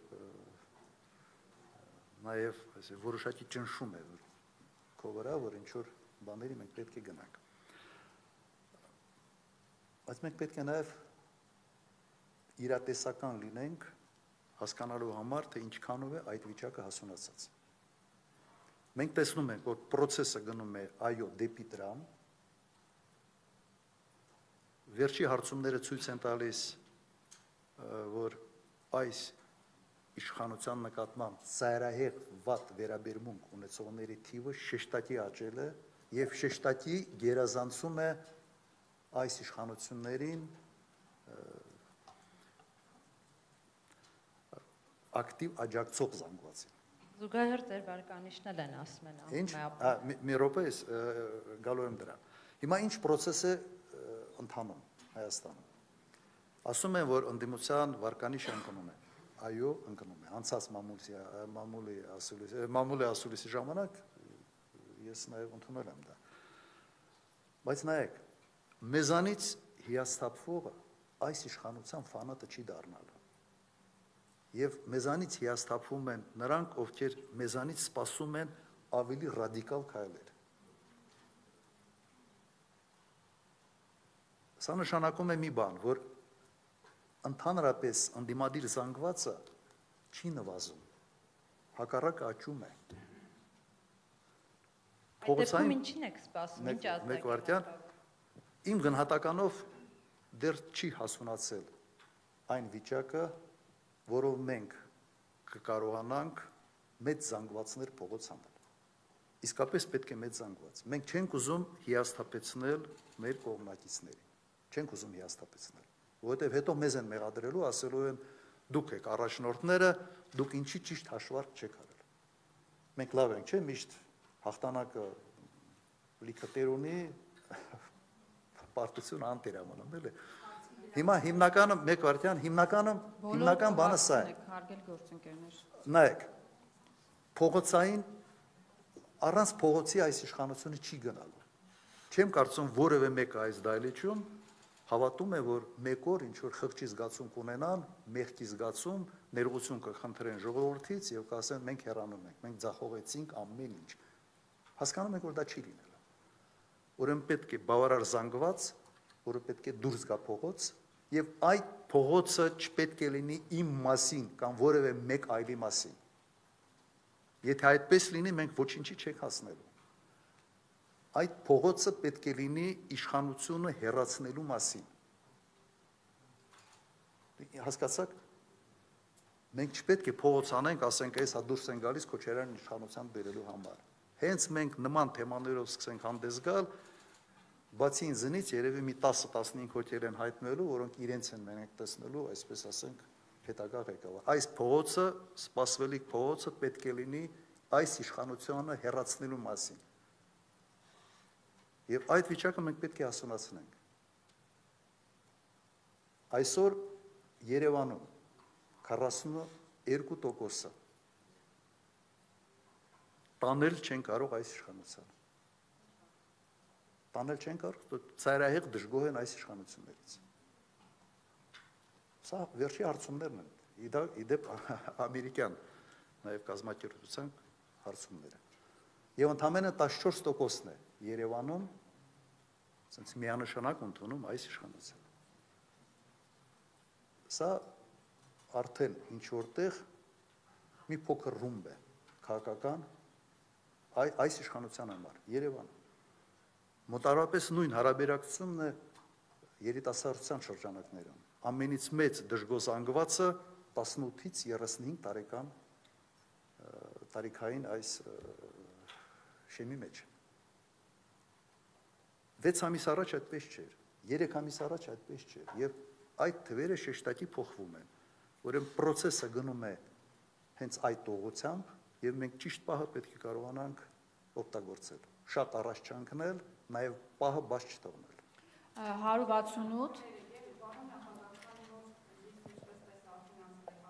կներկայանաք Ես Live News.am Թագուհի Ասլանյան։ Անցել եք ներքին քաղաքական հարցերի, ես արտաքինից հարց ունեի, չգիտեմ, երևի Ագնես Հա գիտեք, ես ես նկատում եմ, որ դուք ձերք եք բարձրացնում, Հա, բայց եւ ինձ մի ձև լավ չէիք բարձրացնում։ տպավորություն է, կարծես թե խտրականություն է, Չէ, չէ, լավ պիտի բարձրացնեիք sense բարձր։ Թագուի ջան, բոլորը Հա, հարցեր ձեր հարևանն էր հնարավորություն են այստեղ ունենալու եւ Քանի որ որևէ դեռևս մեկը մնացել է արտաքին քաղաքական թեմայով հարց- հարցադրում, ուզում եմ տալ նախ ես որտեղից միջամտեցի նկատի ունեի, որ ասացի Թուրքիայից մեր տնտեսական սպառնալիք եք տեսնում, նկատի ունեի նաև Թուրքիայի հրճակագրով, հա, սահմանվում է, որ միջև Հայաստանը չճանաչի Արցախի ամբողջականությունը բնականաբար Ադրբեջանի կազմում, հայոց հարցը մնալու է միայն պատմաբանների քննարկման հարթակում։ Ես նկատի ունեի, արդյոք Թուրքիան նախապայմաններ չի դրել Հայաստանի առաջ սահմանները բացելու համար, եւ նաեւ կուզեմ դուք խոսեք խաղաղության պայմանագրի մասին մենք տևական ժամանակ է խոսում ենք որ Հայաստանը կանգնած է այդ սպառնալիքի առաջ խաղաղության պայմանագրով ըստ լավ ճանաչելով Թուրքիային, Ադրբեջանին եւ ընդհանրապես աշխարհակաղական վերադասավորումները խաղաղության պայմանագրով Հայաստանին ինչ որ բան սպառնում է, թե Հայաստանը եւս ձեռնտու է հա տարածաշրջանում տևական խաղաղություն պահպանելու առումով եւ արդյոք Հայաստանը կորուստներ չի ունենա այսօր արդեն Ռուսաստանում ճիշտ է ադրբեջանամետ քաղաքագետների բերանով հնչում են հայտարարություններ որ ապրիլի 24-ին Հայաստանը ստորագրելու է խաղաղության պայմանագիր շնորհակալ եմ ուզում, քանի որ հերթը իմն էր հասել, արդարացիորեն կարող եմ նաև ես իմ հարցը ձևակերպել, պարոն նախագահ։ Ես միկրոֆոնը ոնց հասկացա չէի կարողանում կիսել, խնդրեմ, զվարթ։ Հա, հիմա ես պիտի պատասխանեմ, թե չպիտի պատասխանեմ, թե միացնենք Եթե լրացումը առաջարկում եմ Զվարթը եւս էլի արտաքին հարաբերությունների։ Նախորդ հարցի լրացում էր ինձ հերթ չհասավ։ պատասխանենք այդ դեպքում Լավ, այդ դեպքում ես ես փորձեմ նայեք, խաղաղության պայմանագրից երևի սկսեմ։ Չեմ կարծում, որ խաղաղության պայմանագիրը ասոր պատրաստ է եւ Հայաստանը պատրաստ է ստորագրել։ Ինչքան ես գիտեմ իմ ինֆորմացիայով սկզբից Ադրբեջանը ավելի շատ պնդում էր դեմարկացիայի, դելիմիտացիայի, հետո խաղաղության պայմանագրի, հիմա տեղերը փոխել են եւ պնդում են, ասենց առաջնահերթություն են տալիս խաղաղության պայմանագրի։ Ես չեմ պատկերացնում այդպիսի պայմանագիր երկու երկրների միջև առանց տարածքային ամբողջականության փոխադարձ ճանաչման։ Ուղղակի հնարավոր չի սա։ Եվ չեմ կարծում, որ մենք այսօր բավարար բանակցային ռեսուրս ունենք մեր նպատակները առաջ մղելու համար։ Ուրեմն այդ պատճառով հայկական կողմը պես հարվածի տակ ինքը իրեն չդնելով ներքաղաքական լարվածություն չստեղծելով ես կարծում եմ փորձելով են հնարավորին ձգձգել այս գործընթացը։ Միգուցե սա կլիներ ինչ որ չափով ճիշտ մոտեցում, եթե դու զուգահեռ անեիր ամեն ինչ քո բանակը ուժեղացնելու համար, քո բանակի մարտունակությունը, պաշտպանների ը, սահմանների պաշտպանվածությունը ը, ամրացնելու համար։ Բայց մենք չենք տեսնում, որ բան չի արվում։ Չի երևում։ Ուրեմն այս եթե գնան այդ ձգձգման ճանապարհով, սա նշանակում է մի բան, գիտեք, առաջ առաջ ցավազրկիչները լավ չէին աշխատում։ Մարդը որ ատամ ցավում է, միջև վերջը որ ուզում էր հետաձգի ատամնաբուժի մոտ չգնա, էլի, ասենց դրապես մի բան է, դրապես մի վիճակ է այսօր։ Ասենց են ոչ ցանկալի ինչ որ դրսևորումները հնարավորինս ձգես այնքան, ինչքան ասենց հնարավոր է։ Ասենց միջև դանակը ոսկորին չասնի։ Մոտարապես սա է մյուս հա- ձեր հարցի առաջի մասը ես ես պատասխանել եմ sense տարբեր հարցերով այստեղ ուղղակի նոր բան այդ դեպքում զարուհի եթե եթե կարողանաք սպეციფիկ ավելի բան ասել ես պատրաստ եմ նաև բարձաբանել բայց իմ տպավորությամբ ես արդեն այդ հարցին պատասխանել Նաև եմ։ չկրկնվելու համար այո անցնենք առաջ, չկրկնվելու համար նաև որ բոլոր հնարավորություն ունեն պարոն նախագահ, անցնենք առաջ Զարուհի 168 168 ժամ Զարուհի Դիլանյան, պարոն նախագահ, նախորդ հարցի լրացում կուզեի խոսեիք նաև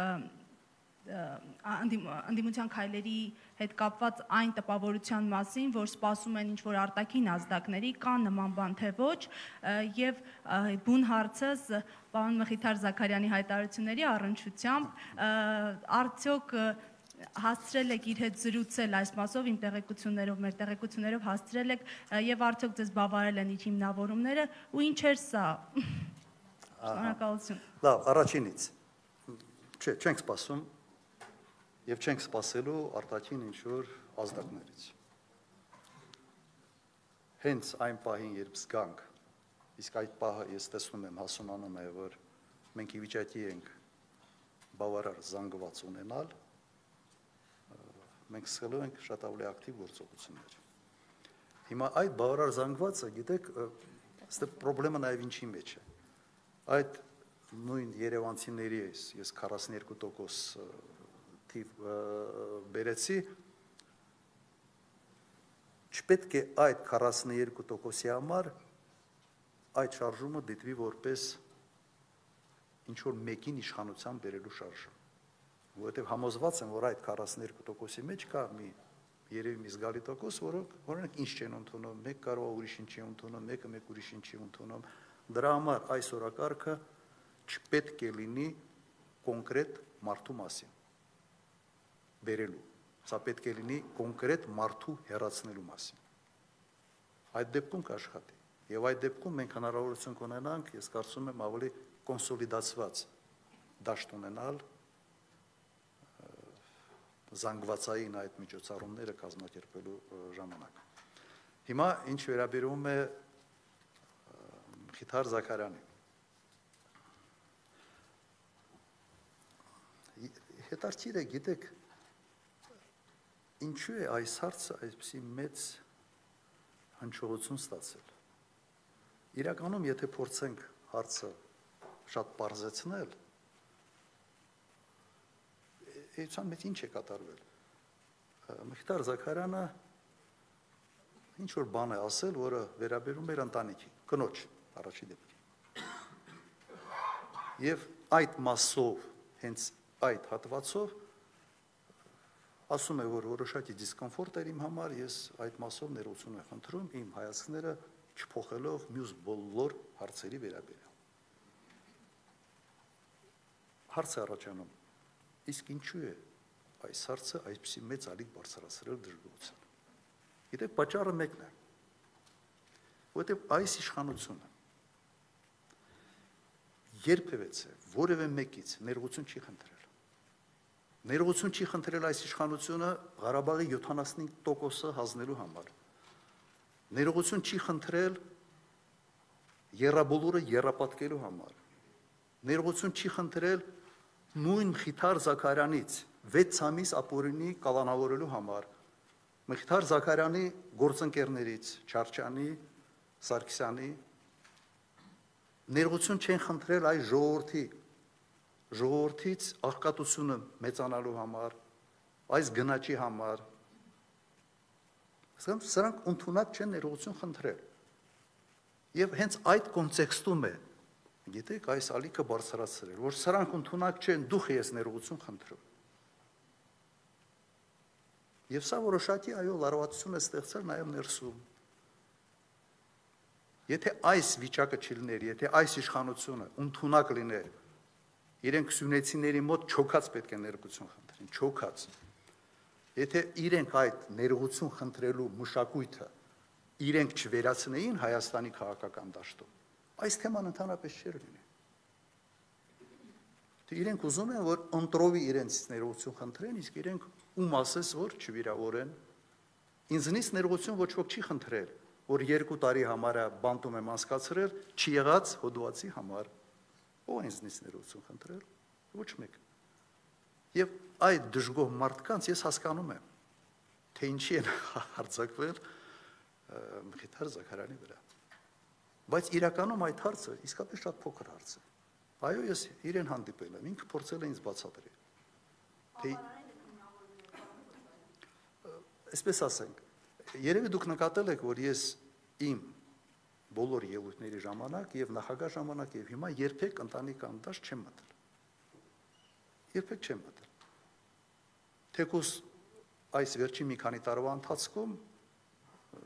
միգուցե արժեր անել բայց չի մտնում, ուղղակի սկզբունքի հարց էր։ Դրա համար Մխիթար Զաքարյանի այսպես դիսկոմֆորտը ինձ համար որոշ չափով հասկանալի Բայց ընդհանուր կոնտեքստի մեջ ես նաև շատ լավ հասկանում եմ այն մարդկանց, որոնք ասում են, սրանցից եք ներողություն խնդրում, սրանք ինչի համար են ներողություն խնդրել։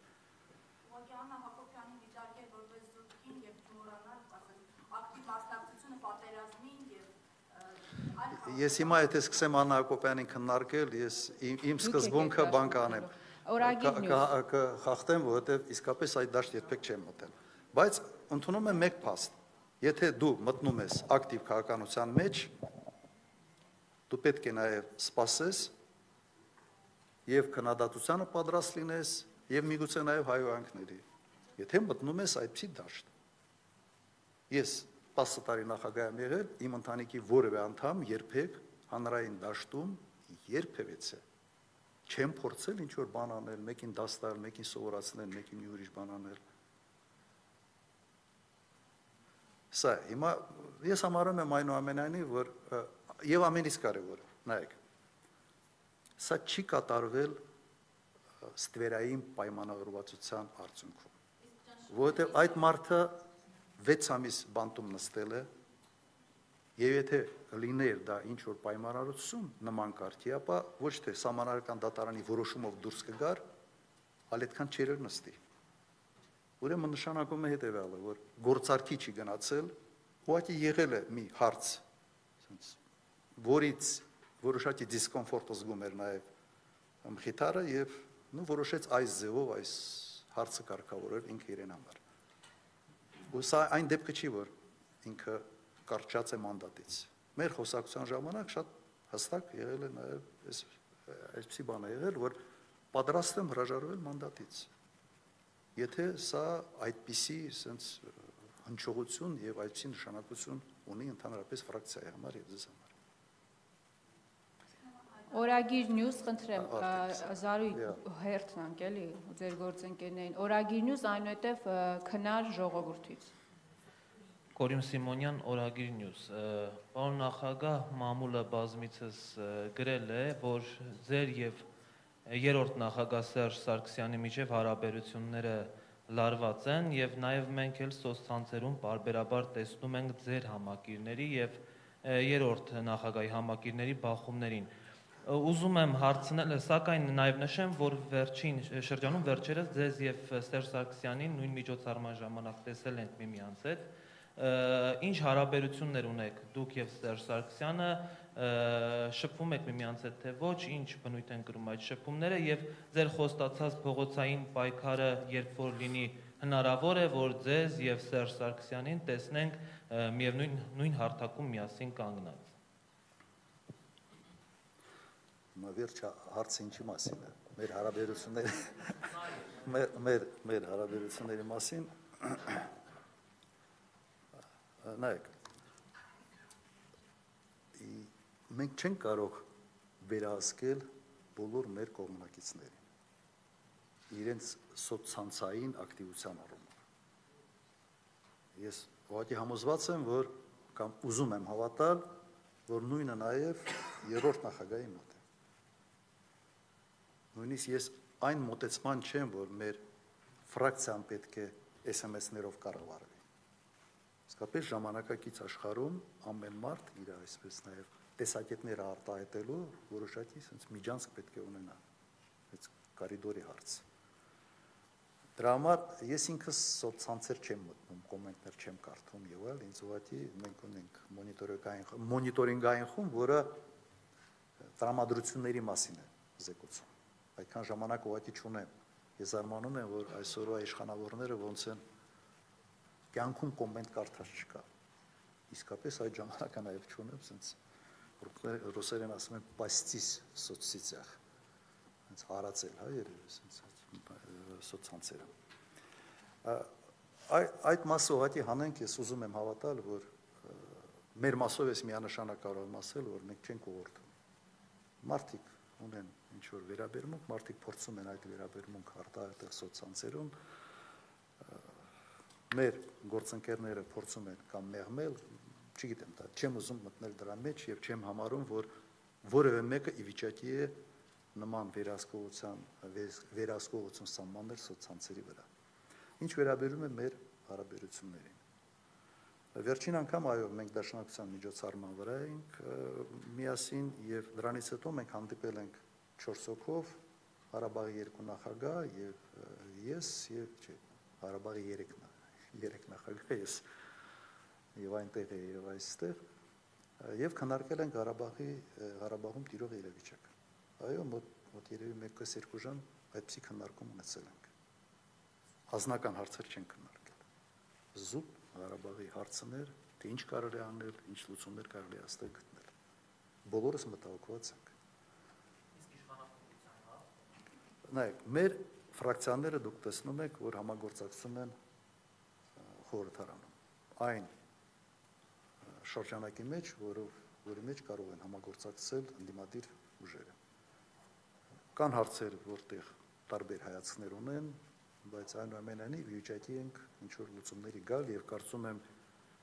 մենք չնայած բոլոր այսպես հակասությունների կամ միգուցե նախկին իսկ ուտակված խնդիրների մենք պետք է վիճակի լինել պայմանավորվել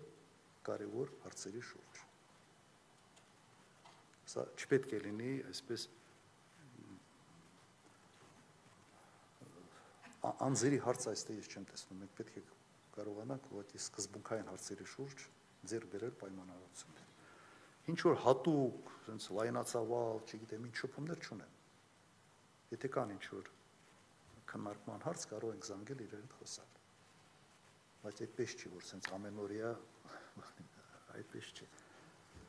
խորհրդարանը շատ ավելի ակտիվ sense համագործակցություն այնտեղ կա, այնտեղ ուղղակի ամեն օրվա հարցեր են, քվեարկություններ են, ինչ որ հայտարարություններ են, միանալ իրար, չմիանալ, սա է։ Այսքանը ասած։ Քնար։ Ուրիշ բան, ուրիշ բան այստեղ իսկապես չկա։ Այնուհետև քնար, խնդրեմ, ժողովուրդ օրաթերթ այնուհետև Փայլակը Ֆարադյան, հետո այս թևից Լիլիթ Հակասյան Հ2։ Ժողովուրդ օրաթերթ Քնար Մանուկյան Պարոն նախագահ փետրվարի 15-ին Երևան քաղաքի ընդհանուր իրավասության դատարանում դատախազը հրապարակեց ձեր եւ Արմեն Գևորքյանի մեղադրական եզրակացությունը պահանջելով 7-ից 12 տարվա ազատազրկում։ Հաշվի առնելով վերջին Ընդամենը, ընդամենը Ընդհանրապես Ես կարծում եմ թե ծմախ պետք է բանանեն։ փաստացի ստերության 7-ից 12 տարվա ազատազրկում։ Երկուս արդեն նստել են, էլի, բան բան չի։ Պարոն նախագահ հաշվի առնելով վերջին շրջանում դատարանների նկատմամբ ճնշումները, ընդհուպ նաև ունենք արդեն դատավորի կալանավորում, ինչ սպասելիքներ ունեք դուք դատարանից, պատրաստ եք կալանավորման որոշմանը։ Շնորհակալություն։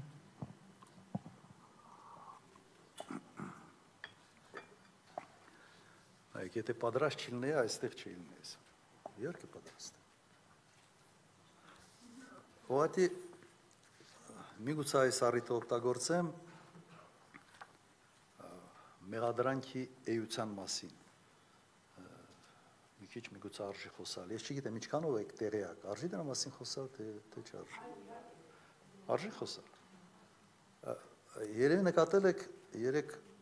փաստաբանները հետևյալն էին ասում։ Ասում են մենք որպես փաստաբաններ չենք հասկանում ինչի մեջ է մեղադրվում մեր վստահորդը։ Եվ եթե մենք չենք հասկանում, մենք չենք կարող բացատրել, թե ինչի մեջ է մեղադրվում մեր վստահորդը։ Իսկապես ես չեմ հասկանում։ Բայց ինչից է այս ամենը սկսվել։ Երբ ինձ մեղադրանք է առաջադրվել համանadrական կարգի տապալման հարցում, անմիջապես մեղադրանքի հետ միասին կալանքի տակ է դրվել ամբողջ իմ գույքը, իմ հաշիվները։ Միջդեռ այդ իրավունք չունեին, որովհետև այն հոդվածը չեր ենթադրում գույքային պատասխանատվություն։ Ապորինի պահել են կալանքի տակ, մենք դատարաններով հասել ենք նրան, որ այդ կալանքը ճանաչվել է ապորինի։ Դատարան ուրիշ որոշում չէր կարող տալ, որովհետև ուղղակի այդ հոդվածը չի ընդհանրում եւ նաեւ ապորինի ձևով բանկային գախնիկի բացահայտում, նույնիսկ ընդ քրեական գործում թղթեր կա, որ գիտեք ինչ է, ասում են ՀԿՑ-ն, եթե չեմ սխալվում, մարմիններից մեկը, ասում է օպերատիվ ճանապարհով մենք Քոչարյանի հաշվի շարժն ենք բանարել։ Պետություն ես դու թե ով ես, ինչ անշանակում օպերատիվ ճանապարհով։ Դույս այդ այդ թուղթը արդեն եւ թղթի տակ ստորագրած անձը արդեն քրեական պատասխանատվություն պետք է կրի եւ ժամանակը գալու է այդ պատասխանատվության ենթարկվելու է։ Հիմա երբ առաջադրվեց արա, երկրորդ մեղադրանքը առաջադրվեց բավական հապճեպ, վերջի պահի այդ գույքային կալանքը շարունակական դարձնելու համար։ Հասկացաք ինչի համար դա է։ Այ սրա համար եւ եւ իրենք ինչ որ նորմալ չկարդացին, թե կարդացին, այդի բան չկար։ Հիմա հարցի նպատակը սա է։ Հիմա հարցի էությունը ինչի մեջ է։ Ամենից հետաքրքիրը սա է։ Մի կին Սիլվան Բարսումյան անունով, բավական հայտնի, որին չեմ ճանաչում, ոչ միայն չեմ ճանաչում, ես չգիտեի այդ կնոջ գոյության մասին ընդհանրապես միջև այս քրեական գործը։ Ես չգիտեի, որ բնության մեջ կա Սիլվան Բարսումյան ինչ-ինչ կենսագրությամբ։ Հիմա չեմ շփվել։ Չեմ լսել։ Հիմա նայեք։ Ինքը ուներ ինչ որ մի լիցենզիա, ինչ որ հանքերի, թե երկու լիցենզիաներ ուներ հանքերի հետազոտման համար։ Եվ ինքը ինչ է ասում, ասում է ինքը ուզում էր այդ լիցենզիան վերավաճառի ինչ որ մեկին եւ ինքը շնորհակալություն հայտնելու կամ կաշառք մի ցուցմունք կաշառք, մի ցուցմունք շնորհակալություն հայտնելու առաջարկ է տվել ինձ Սերժ Սարգսյանին եւ այլ բոլորին։ Հիմա այն ժամանակ օրենքով լիցենզիա վերավաճառելու համար որևէ թույլտվություն պետք չի։ Սոնք պետք չի, ուղղակի նման թույլտվություն։ Եթե դուք օրինակ ձեր տունը ծախում եք եւ այդ տունը օրինական տուն է, այդ տունը, այսպես ասենք, գողացած չի, այդ տունը ինչ որ բան չունի եւ այլ եւ այլ, դուք ոչ մեկից թույլտվություն չեն հարցնում, ուղղակի տունը վաճառում եք, նոտարով ձևակերպում եք եւ վերջ։ Հիմա ինքը ինչ ասում, ինքը ասում է ինձ չխոչուն դտելու համար, չհանգարելու համար ես փող եմ առաջարկել։ Հիմա հարցին, թե քեզ խոչուն դոտել են, թե ոչ, չէ, ոչ ոք չի խոչուն դոտել։ Ուղղակի մտածել եմ, որ կարող է խոչուն դոտեն, եւ այդ հնարավոր կարող է խոչուն դոտելը, խոչուն դոտելուց խուսափելու համար ես փող եմ առաջարկել։ Ուղղակի абսուրդ։ Եվ մեղադրականի մեջ չկա որևէ նկարագրություն, թե ես ինչ եմ արել։ Ում եմ հանձնարարել, մեկին կանչել եմ ասել եմ, «Ա, նայր չխոչընդոտես», թե հակառակը, որևէ բան չկա։ Ուղղակի մեկին այդպեսի մի ցուցմունք է տվել եւ այդ ցուցմունքը հիմք է ծառայում քրեական գործի համար եւ ինձ մեղադրանք առաջադրելու համար։ Սա սա մենք նույնիսկ չենք հասկանում ինչի համար Ես ում եմ ինչ հանձնարա, ես ինչ եմ արել, ես դատարանում ասացի, չէ, ես ինչ որ չեմ հասկանում, ես ինչ եմ արել, որ չպիտի անեի կամ ինչ չեմ արել, որը պետք է անեի։ Եվ հատկապես Հայաստանի Հանրապետության նախագահ 2007 թվականներին որևէ լիազորություն այդ ոլորտում չուներ։ Ես խորհրդարանական ընտրություններից հետո, նույնիսկ 2007 թվականը, ես կառավարության շենք չեմ մտել ամբողջությամբ կառավարությունից, այսպես ասենք, հերու էինք։ Նաև մեկ պատճառով թե այդպեսին էր համանadrությունը։ Երբ մենք դատարանում հարցնում ենք, ասում ենք դուք parzabanենք, ես իմ որ լեզորությունները չեմ օգտագործել կամ օգտագործել եմ չխոչընդոտելու համար, ոչ դատավորը գիտի, ոչ դատախազը գիտի։ Չեն կարող բացատրել։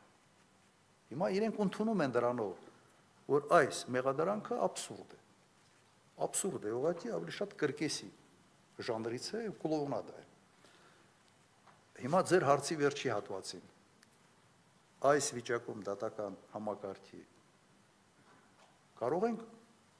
դատավճռկացում։ Այո, կարող ենք։ Եթե դատավոր Բախշյանին կարող են կարող են կալանավորել բայց չեմ կարծում որ այդ հիմարության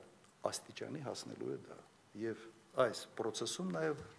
դատավարական բոլորը տեսնելու են թե ինչ абսուրդի է այս ամեն ինչը հասցվել եւ ամենից հետ արկիր ասում է այդ կինը պայմանավորվել է Վարդան Օսկանյանի միջոցով Վարդան Օսկանյանը ասում է երբեք ես նման կաշառքի հարց փողի հարց չեմ քննարկել ոչ մեկի հետ ասում է փողը փոխանցել է Հայրապետյան Մայրապետյան Սամվելի միջոցով Սամվելի ցուցմունքը ասում է որ սա ուղղակի անհետեթություն է, ես երբեք նման բան չեմ արել։ Ու վերջ։ Հիմա եթե այս ծավալի մեղադրանքով կարելի է մարդու կալանավորել, կալանավորեք։ Տեսնենք ինչ է լինելու։ Խնդրեմ Փայլակ Պարադյան, այնուհետև հանրային երկրորդ, հետո կվերադառնանք այստեղ։ Պարոն Քոչարյան, տեսեք, ասում եք խորհրդարանական ընդդիմությունը աշխատում է եւ դեռևս նախադրյալներ չկան կամ պահը չի հասունացել, որ փողոցային պայքար լինի։ Հասունանում է։ Հասունանում է, լավ, թող հասունանա։ Իսկ խորհրդարանում ինչ է անում ձեր խմբակցությունը։ Ասում եք նախագահի տեխնացու չենք առաջադրում, որ չլեգիտիմացնենք, այսինքն ուզում եք ասեք խորհրդարանի փոխոսնակի պաշտոնը լեգիտիմացնել կարելի է, կարելի է օրինակ Անդրանիկ Քոչարյանի պաշտպանության հանձնաժողովի ստեղծմանը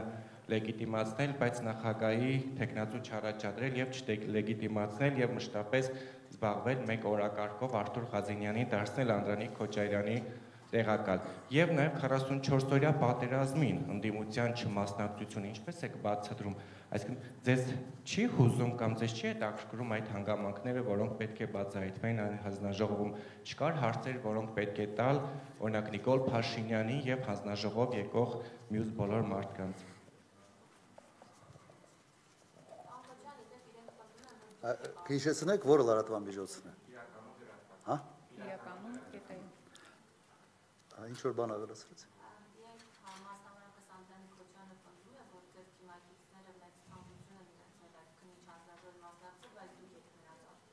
Ափսոս է ազգանունը որ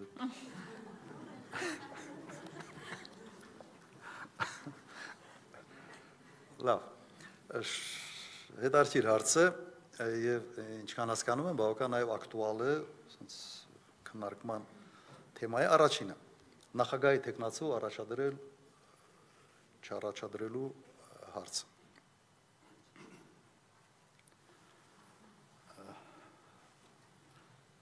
Նայեք, այն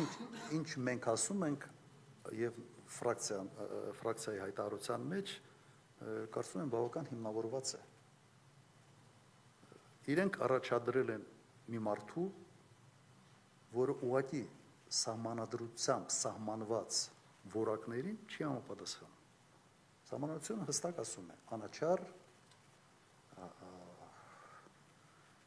ազգային եւ ինչ որ, հա? Հա, հա, անա, անաչար մարդու մասին է խոսքը, ազգային շահերով առաջնորդվող եւ այլ։ Ոչ չի համապատասխանում։ Կարող ենք մենք առաջադրել մեկին օգտագործելու համար այն բիոմը։ Այո, կարող ենք։ Բայց ես էլ եմ համոզված, որ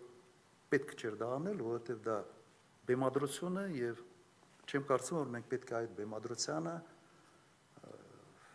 այդ այդ բեմադրության ժամանակ դեկորացիայի դեր խաղալ։ Այսա մի րոպե հարց տվել եք։ Չէ, չէ, ոչ, ոչ։ Ըմ, Այն մյուս պաշտոնները, որոնք դուք հնչեցրեցիք, կա Դոնտի բանաձև եւ այդ բանաձևով այդ պաշտոնները հասնում են ընդդիմությանը, նաեւ սահմանադրության։ Այստեղ վիճակը մեկ ուրիշ է։ Մենք պետք է մտնեինք մի process-ի մեջ, որտեղ հաջողությունը չի երևում, ուղղակի հնարավոր չի, որտեղ արդեն նույնիսկ կառավարության նիստում վարչապետը շնորհավորում է իրենց տեխնացուի։ Բայց այստեղ ես ունեմ ուրիշ առաջարկ։ Ես պատրաստ եմ այդ առաջարկը հանրայնացնել այստեղ, այս մամլի ասուլիսի ժամանակ։ Եթե մենք ուզում ենք իսկապես ունենալ անաչար եւ ազգային շահերով նախագահ, լավագույն տարբերակը կլիներ այս պահին, երբ մեր ազգը բևեռացված է, երբ որ ուղղակի ը, մարդ է պետք, որը կկարողանա ինչ որտեղ կամուջներ ք- փնտրել եւ փորձել միավորել մեր ազգին, պետք է փորձի նաեւ մեր վտանգված ինքնությունը ինչ որտեղ պահպանել լավագույն տարբերակը հայ առաքելական եկեղեցու որևէ հարգանք վայելող սրբազանը կլիներ։ Հենց այս օրհասական պահին նման տեխնացուն կլիներ լավագույնը։ Իմ համոզմամբ։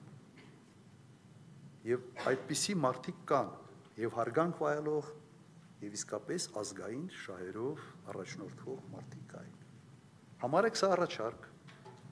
եւ այդ առաջարկի շուրջ այո կարելի է պայմանավորվել։ Եթե իսկապես հայ առաքելական եկեղեցին այս պահին ստեղ կլինի երկու հանգամանք եւ մարդ եւ ազգային ինստիտուտ Կարծում հետարքիր առաջարկը եւ իմ մտածումը ուղղակի սա էր։ Եթե այդպիսի առաջարկ լիներ, իրեն գոնե փորձեին ոչ թե հակից մեկ օր շուտ դիմում տված դուրս եկած մարդու առաջարկերին, այլ նման կարգի մի մարդ գտնեին, այո, կարելի է դրա շուրջ բանակցել, բայց այն գլխից այնպեսի քայլ արվել, որ տեղ չի մնացել ընդհանրապես խոսալու եւ կրկանեմ այդ բեմադրության դեկորացիա ծառայելու ցանկություն մենք չունենք։ Հիմա հիմա հանձնաժողովի մասին, հա։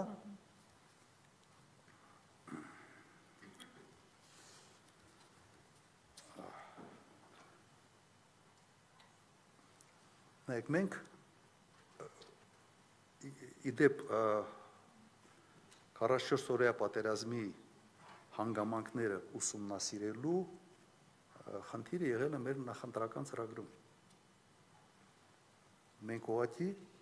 առաջինն ենք բարձրաձայնել դրա դրա անհրաժեշտությունը։ Բայց երբեք չենք մտածել, որ դա կարող է լինի այս հանձնաժողովի շրջանակներում։ Եվ մենք առաջարկ ենք տալու մոտակա օրերին, թե ինչպես ենք մենք տեսնում պատերազմի հետևանքների այլ ուսումնասիրման հանձնաժողովի ձևաչափ։ Այո, պետք է լինելու օրենսդրական նախաձեռնություն, բայց սա այն հարցն է, որ պետք է սրան գնալ։ Հիմա նպատակը ի՞նչն է։ Մի հատ մենք ինքներս մեզ հարց տանք։ Այդ հանձնաժողովի ստեղծման նպատակը ի՞նչն է։ Ես ենթադրում եմ, որ եթե դա խորհրդարանն է սկսում դրանով զբաղվել, ուրեմն հանրային վստահությունը վերականգնելու համար մի հարցի նկատմամբ, որտեղ ծայրահեղ բևեռացված մոտեցումներ են այսօր մեր հանրության մոտ։ Հիմա այս ֆորմատը, այս խնդիրը լուծում է թե չի լուծում։ Իհարկե չի լուծում։ Ուղղակի չի լուծում։ Այն ինչի համար սա ուզում են ստեղծել, չի լուծում։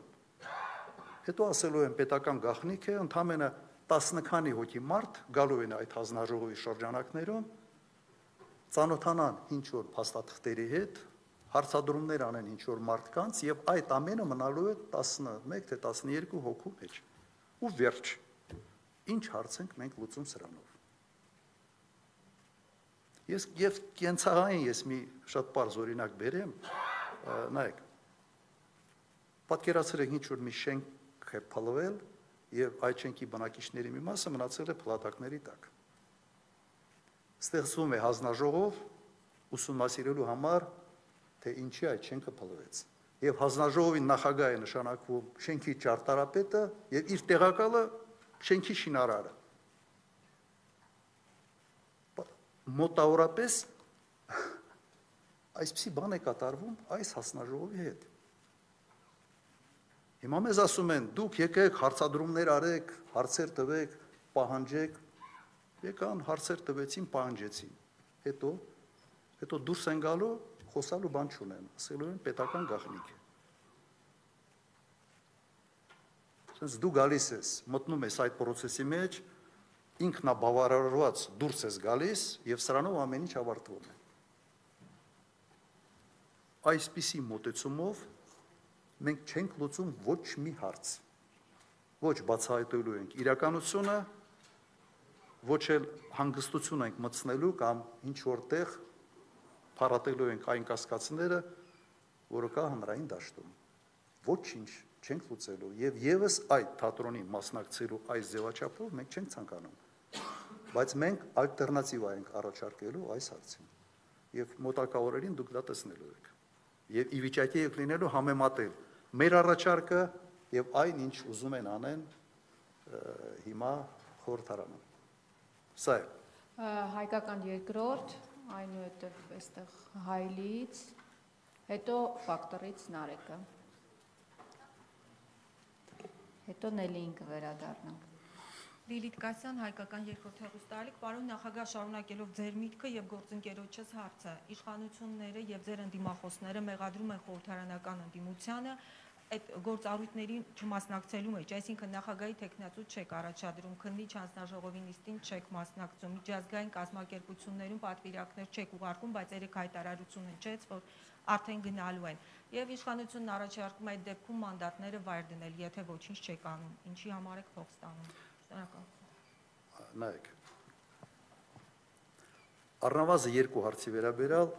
ես այսօր հնչեցի առաջարկ, հնչեցրեցի առաջարկ То есть կա տարբերակ։ Օրինակ նախագահի տեխնացուի վերաբերյալ։ Հնարավոր սցենար Վահագն Խաչատրյանը ինքնաբացարկ է հայտարարում, ասում է ես այնուամենայնիվ անաչառ չեմ եւ չեմ կարող լինել եւ փորձում ենք բանակցել իրենք թող բանակցեն խնդիր չի հայ առաքելական եկեղեցու հետ եկեղեցու սպասավորի տեխնացուի շուրջ Պատ առաջարկի, թե լավ առաջարկի։ Ես համոզված եմ, որ յուրաքանչյուր սրբազան Վահան Խաչատրյանից ավելի լավ նախագահ է լինելու։ Չեմ կասկածում դրա մեջ։ Եվ իր մեջ ազգը միավորելու ֆունկցիա է ունենալու։ եւ ասենց առաքելության պես բանա լինելուս։ Երկրորդը մենք տալու ենք առաջարկ, որ անկասկած այդ հանձնաժողովի վերաբերյալ քննիչ հանձնաժողովի որ անկասկած ավելի հետաքրքիր է լինելու, ավելի անաչառ, ավելի գործունյա եւ ավելի արդյունավետ։ Tos մենք ոչ թե ասում ենք մենք չենք մասնակցում։ Այդ երեխան որ ասում հաշ չեմ ուտելու, ասած հա։ Ծնողներ սկսում են մտահոգվել, ես ինչ անեմ, որ համոզեմ, որ հացտի։ Մենք տալու ենք կոնկրետ առաջարկ թե ինչ պետք է անել, եթե մեր խնդիրը, եթե խնդիրը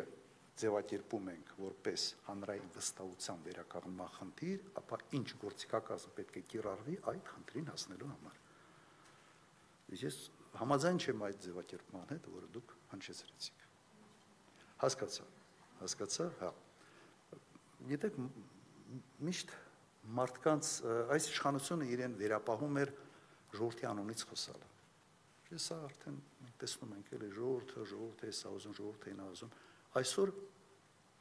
ժողովրդի անունից խոսալու իրավունք չունեն։ Ժողովրդի մեծամասնությունը այսօր իրենց չեն պաշտպանում։ Իրենց կողքին կանգնած չեն։ Գիտեք, վրացական մի ասացված կա, ասում է ոչխարը ամբողջ կյանքը գայլից էր վախենում, բայց վերջում ճոբանը կերավ։ Վերջում ճոբանի սեղանին հայտնվեց։ Հիմա այս վիճակը։ Հայլի AM, այնուհետև Նարեկը ֆակտորից։ Մենք մենք մի մի ժամկետ համանապակենք։ Եվս կես ժամ առաջարկում հարցերը կարծես արդեն ավարտվում են։ Արդեն մենք 2 ժամ թե չէ։ 2 Չէ։ Ա 2 2 ժամ 15 րոպե։ 2 ժամ 15 րոպե։ Լավ, 2-3 հարցը դնենք ու վերջ։ Շնորհակալություն։ Պարոն նախագահ, Հայաստանում ըստեյության քաղբանտարկյալների պակաս չկա, մենք 10 գուցե ավելին քաղբանտարկյալներ ունենք։ Եվրոպական կառույցներն էլ շտապում են Հայաստանը ժողովրդավար պետություն համարել։ Նիկոլ Փաշինյանն էլ ազգային ժողովի աբյոնից հայտարարում է, որ Հայաստանում ժողովրդավարությունն է տիրում։ Ձեր դիտարկմամբ, արդյոք այս կերպ Եվրոպան եւ եվրոպական կառույցները չեն հեղինակազրկում իրենց եւ սա ուղղակի հարված չէ հենց նույն Եվրոպային կամ եվրոպական կառույցներին։ Շնորհակալ եմ։ Հասկանալի է։ Շնորհակալություն, հետարքիր հարցը եւ բավական ակտուալ։ Նայեք, կրկնակի ստանդարտները արևմտյան կառույցներում միշտ էլ եղել են։ Բայց այդ ստանդարտները ինձ որոշակի չափ են ունեցել այդ կրկնակի ստանդարտները։ Ես դա նկատում էի նաև իմ 10 տարվա նախագահության ժամանակ, բայց կա ինչ որ մի շեմ, որը երբեք նաև այդ կառույցները չէին չէին անցնում։ Հիմա աշխարհակաղակական այս սուր իրավիճակում իմ փորձությունը այնպեսին է, որ այդ սահմանը կրկնակի ստանդարտներին ուղղակի վերացել է։ Չեն կիրառում։ Եվ դա է պատճառը, որ եվրոպական կառույցները եւ միացյալ նահանգները աչք են փակում այն բեսպրեցելի վրա, որը այսօր տիրում է եւ դատական համակարգում եւ ընդհանրապես Հայաստանում կապված մարդու իրավունքների պաշտպանության հետ եւ ընդհանրապես մարդու իրավունքների հետ։ Ճիշտ է, այո, այս խնդիրը կա։ Մենք փորձում ենք բարձրաձայնել բավական բավական անարդյունավետ է։ Իսկ խոսակցության ժամանակ ընդունում են, հա, բաչիկա ոնց կարող այդպես լինել եւ այլ եւ այլ, հետո գնում են եւ լրացում։ Ես նաեւ իմ կապերով, նախին կապերով փորձել եմ հասկանալ, թե ինչ է կատարվում։ Ինձ հետևյալն են ասում մարդիկ, որոնք շփվում են այդ պատվիրակությունների, ազգային պատվիրակությունների ղեկավարների հետ, մարդկանց հետ, որոնք այդ մոնիտորինգային խմբերում ներգրավված են, ինձ գիտեք ինչ են ասում։ Ну, մեկ ռուսերեն, մեկ անգլերեն, ով ինչ լեզու ավելի լավ է տիրապետում, ասում է Ռոբերտ Դարագո, это геополитика։ It's a geopolitics։ Այդ բացատրությունը դա է ազնական, այսպես ասենք, շփման մատերեսում այդ ֆիլմերի պես որ ասում է ոչ մի ազնական բան չկա it's business հիմա հիմա սա է սա է վիճակը այդ կոնտեքստում մի քիչ շարունակեմ ակնհայտ է մեկ բան Այսօր Հայաստանի առաջի դեմքը ունի ակնհայտ ասես բռնապետությանը տանելու հակումներ։ Եվ այդ հակումները չեն հակակշռվում իշխող կուսակցության կողմից։ Ոքի չկա, ոչ ցանկություն կա, ոչ հնարավորություն։ Եվ հերթական այսպես ամեն մի քայլով, ամեն մի քայլով մենք ավելի եւ ավելի խրվում ենք այդ բռնապետության բռնապետության ձևավորման այդ process-ի մեջ։ Պայքարը այստեղ մեկն է, ժողովուրդը պետք է ուղղակի ոչ միայն ընդդիմություն, ընդդիմությունը մենք փորձում ենք դա անել եւ երևի միակ ամենից դժուժած այդ տեսանկյունից այդ process-ներից ընդդիմությունը մենք ենք։ Բայց սա ես համարում եմ մեզ համար նաեւ առաքելություն։ Որ այո, սրա դեմ պետք է առնենք, պետք է բարձրաձայնենք, պետք է պետք է նաեւ այդ արևմտյան կազմակերպություններին պետք է ստիպենք որ իրենք ասենց բացեն իրենց աչքերը, ականջները եւ ուղղակի հաղորդակից լինեն այն տրամադրություններին, որ այսօր Հայաստանում սկսում է սկսում են ուղղակի զարգանալ եւ կարծում եմ այստեղ շարունակությունը լինելու է առաջարկում եմ բավարարվենք մեկական հարցով պարոն նախագահի թե դեմ չեք եւս երեք ֆակտոր այնուհետև Նելի Գրիգորյան եւ այստեղ այո Շնորհակալություն Նարեկ Կիրակոսյան Factor TV։ Պարոն Քոչարյան, Ռուսաստանի նախագահ Վլադիմիր Պուտինը 44-օրյա պատերազմից կարճ ժամանակ անց մեկ ամսվա ընթացքում 2020 թվականի նոյեմբերի 17-ին եւ նույն թվականի դեկտեմբերի 17-ին հայտարարել է, որ Լեռնային Ղարաբաղը Ադրբեջանի անբաժանելի մաս է, ընդ որում երկու հայտարարություններ արել է պետական լրատվամիջոցների միջոցով, Սակայն մենք գիտենք, որ Արցախը երբեք անկախ Ադրբեջանի կազմում չի եղել եւ անօրինական միացվել է կոմկուսի որոշմամբ դուք որպես Հայաստանի հա թիվ 1 ընդդիմադիր ուժի առաջնորդ եւ ի վերջո որպես Հայաստան Արցախի առաջին նախագահ ինչու որևէ կերպ չեք արձագանքել, չեք հակադարձել Պուտինին եւ սա ինչով է պայմանավորված ներքաղաքական իրավիճակից ելնելով չեք արձագանքել, թե այնուհանդերձ համաձայն եք Վլադիմիր Պուտինի այս գնահատականի հետ։ Գիտեք, ես Ղարաբաղի անկախության հռչակագրի հեղինակն եմ։ Ես եմ այդ հռչակագիրը գրել Կարեն Բաբուրյանի հետ։ Եվ այդ հրճակագիրը միջ այսօր իրավական տեսանկյունից անխուսելի է։ Եվ ոչ մեկը երբեք չի ասելու այս այդ հրճակագրում կա որևէ թույլ կողմ իրավական տեսանկյունից։ Իմ բանակցային գործընթացի մասնակցելու ժամանակ չի եղել որևէ փաստաթուղթ, որը կընդհանրեր որ Ղարաբաղը Ադրբեջանի կազմում է։ Այսօր հարց եղավ նաև Ստամբուլյան այդ փաստաթղթի եւ բոլոր կոնֆլիկտներից 5-ն միակներ, որի վերաբերալ այդ OBS-ի անդամ երկրների բոլոր ղեկավարները ստորագրել են միակ կոնֆլիկտն էր, որտեղ տարածքային ամբողջականությունը չէր շեշտվում Ղարաբաղի հարցի կարգավորման գործընթացում։ Նույնիսկ Կիվեստում մենք քննարկում էինք տարբերակ Ղարաբաղը Հայաստանին միացնելու։ Տվյալ դեպքում կարծում եմ իմ մտածումը այստեղ པարզ է։ Թե ինչից ելնելով է Ռուսաստանի նախագահը դա ասել, ես կարծում եմ այն իրողությունները, որը եղան պատերազմի ժամանակ եւ պատերազմից հետո։ Կարծում եմ պատճառը նաեւ դա է եւ եթե մեր երկրի իշխանությունը չի արձագանքում Ալիևի հայտարարությունների, որ հարցը լուծված է վերջնականապես եւ այլ եւ այլ եւ այլ, ապա դուք սպասում եք, որ Հայաստանը ինչ որ ձևի կարձագանքի Ռուսաստանի ասացին։ Հիմա Ռուսաստանի նախագահը լսում է Ալիևի հայտարարությունները, Էրդոգանի հայտարարությունները, Թուրքիայի արտգործնախարարի հայտարարությունները եւ չի լսում որևէ արձագանք Հայաստանի կողմից։ Հիմա դուք ուզում եք Ռուսաստանի նախագահ ավելի հայ լինի, քան Հայաստանի վարչապետը։ Ռուսաստանի արտգործնախարարը ավելի հայ լինի, քան Ռուսաստանի, քան Հայաստանի արտգործնախարարը։ Ճիշտ եք ասում, ինձ դուր չի եկել դա։ Բայց մի պահ դուք ձեզ դրեք այնտեղ, իրենց տեղը։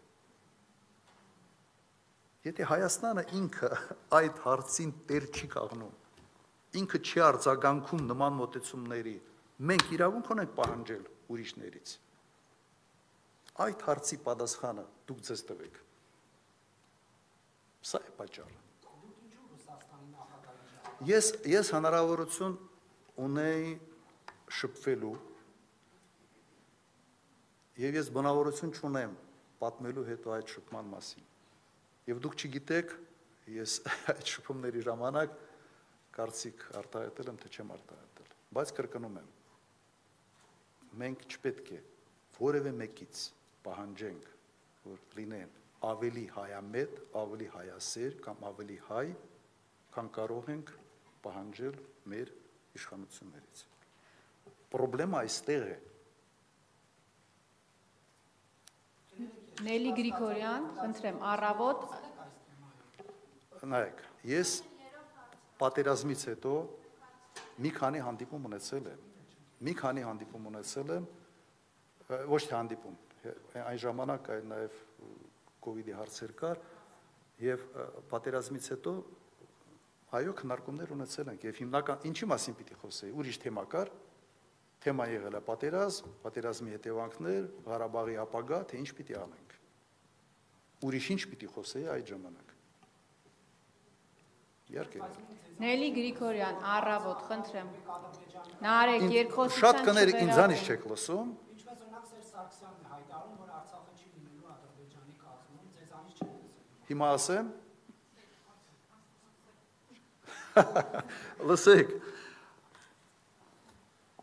Մադրիդյան սկզբունքները դուք կարդացել եք։ Կիվեստի սկզբունքները եւ պայմանագիրը ծանոթ եք լավագույն փաստաթղթերն են։ Հետո մադրիդյան սկզբունքները որոշակի ձևափոխմամբ դարձան Կազանյան այդ փաստաթղթերը։ Երբեք ես չեմ բանակցել որևէ տարբերակ, որով կարող է Ղարաբաղը լինել Ադրբեջանի կազմում։ Ես չեմ տեսնում Ղարաբաղի ապագան Ադրբեջանի կազմում ընդհանրապես։ Եվ համոզված եմ, եթե լուծումը լինի այդպիսինը, Ղարաբաղը հայաթափվելու է Գիտեք, մեր մեր արգումենտներից մեկը եղել է հետևյալը. Սումգայիցյան դեպքերից հետո։ Մենք ասում էինք, որ Սումգայիցյան դեպքերը ցույց տվեցին, որ հայաց Ադրբեջանի կազմում հայերը չեն կարող գոյատևել։ Սպառնված սպառնալիք է ուղղակի իրենց գոյությանը եւ կյանքին։ 44 օրյա պատերազմը վերահաստատեց դա ավելի մեծ ծավալով, ավելի մեծ մասշտաբի։ Եվ ասեմ, եթե Ղարաբաղը այս իշխանությունը համաձայնվի տարածքային ամբողջականության տարբերակին, Ղարաբաղում հայ չի մնալու։ Շատ կարճ ժամանակահատված է։ Իհարկե չպետք է, պետք է ամեն ինչ անենք բացառելու համար այդ տարբերակը։ Ես ինչի համար եմ ասում, երբեք չի լինելու, չեմ ասում, թե երբեք չի լինելու Ադրբեջանի կազմում։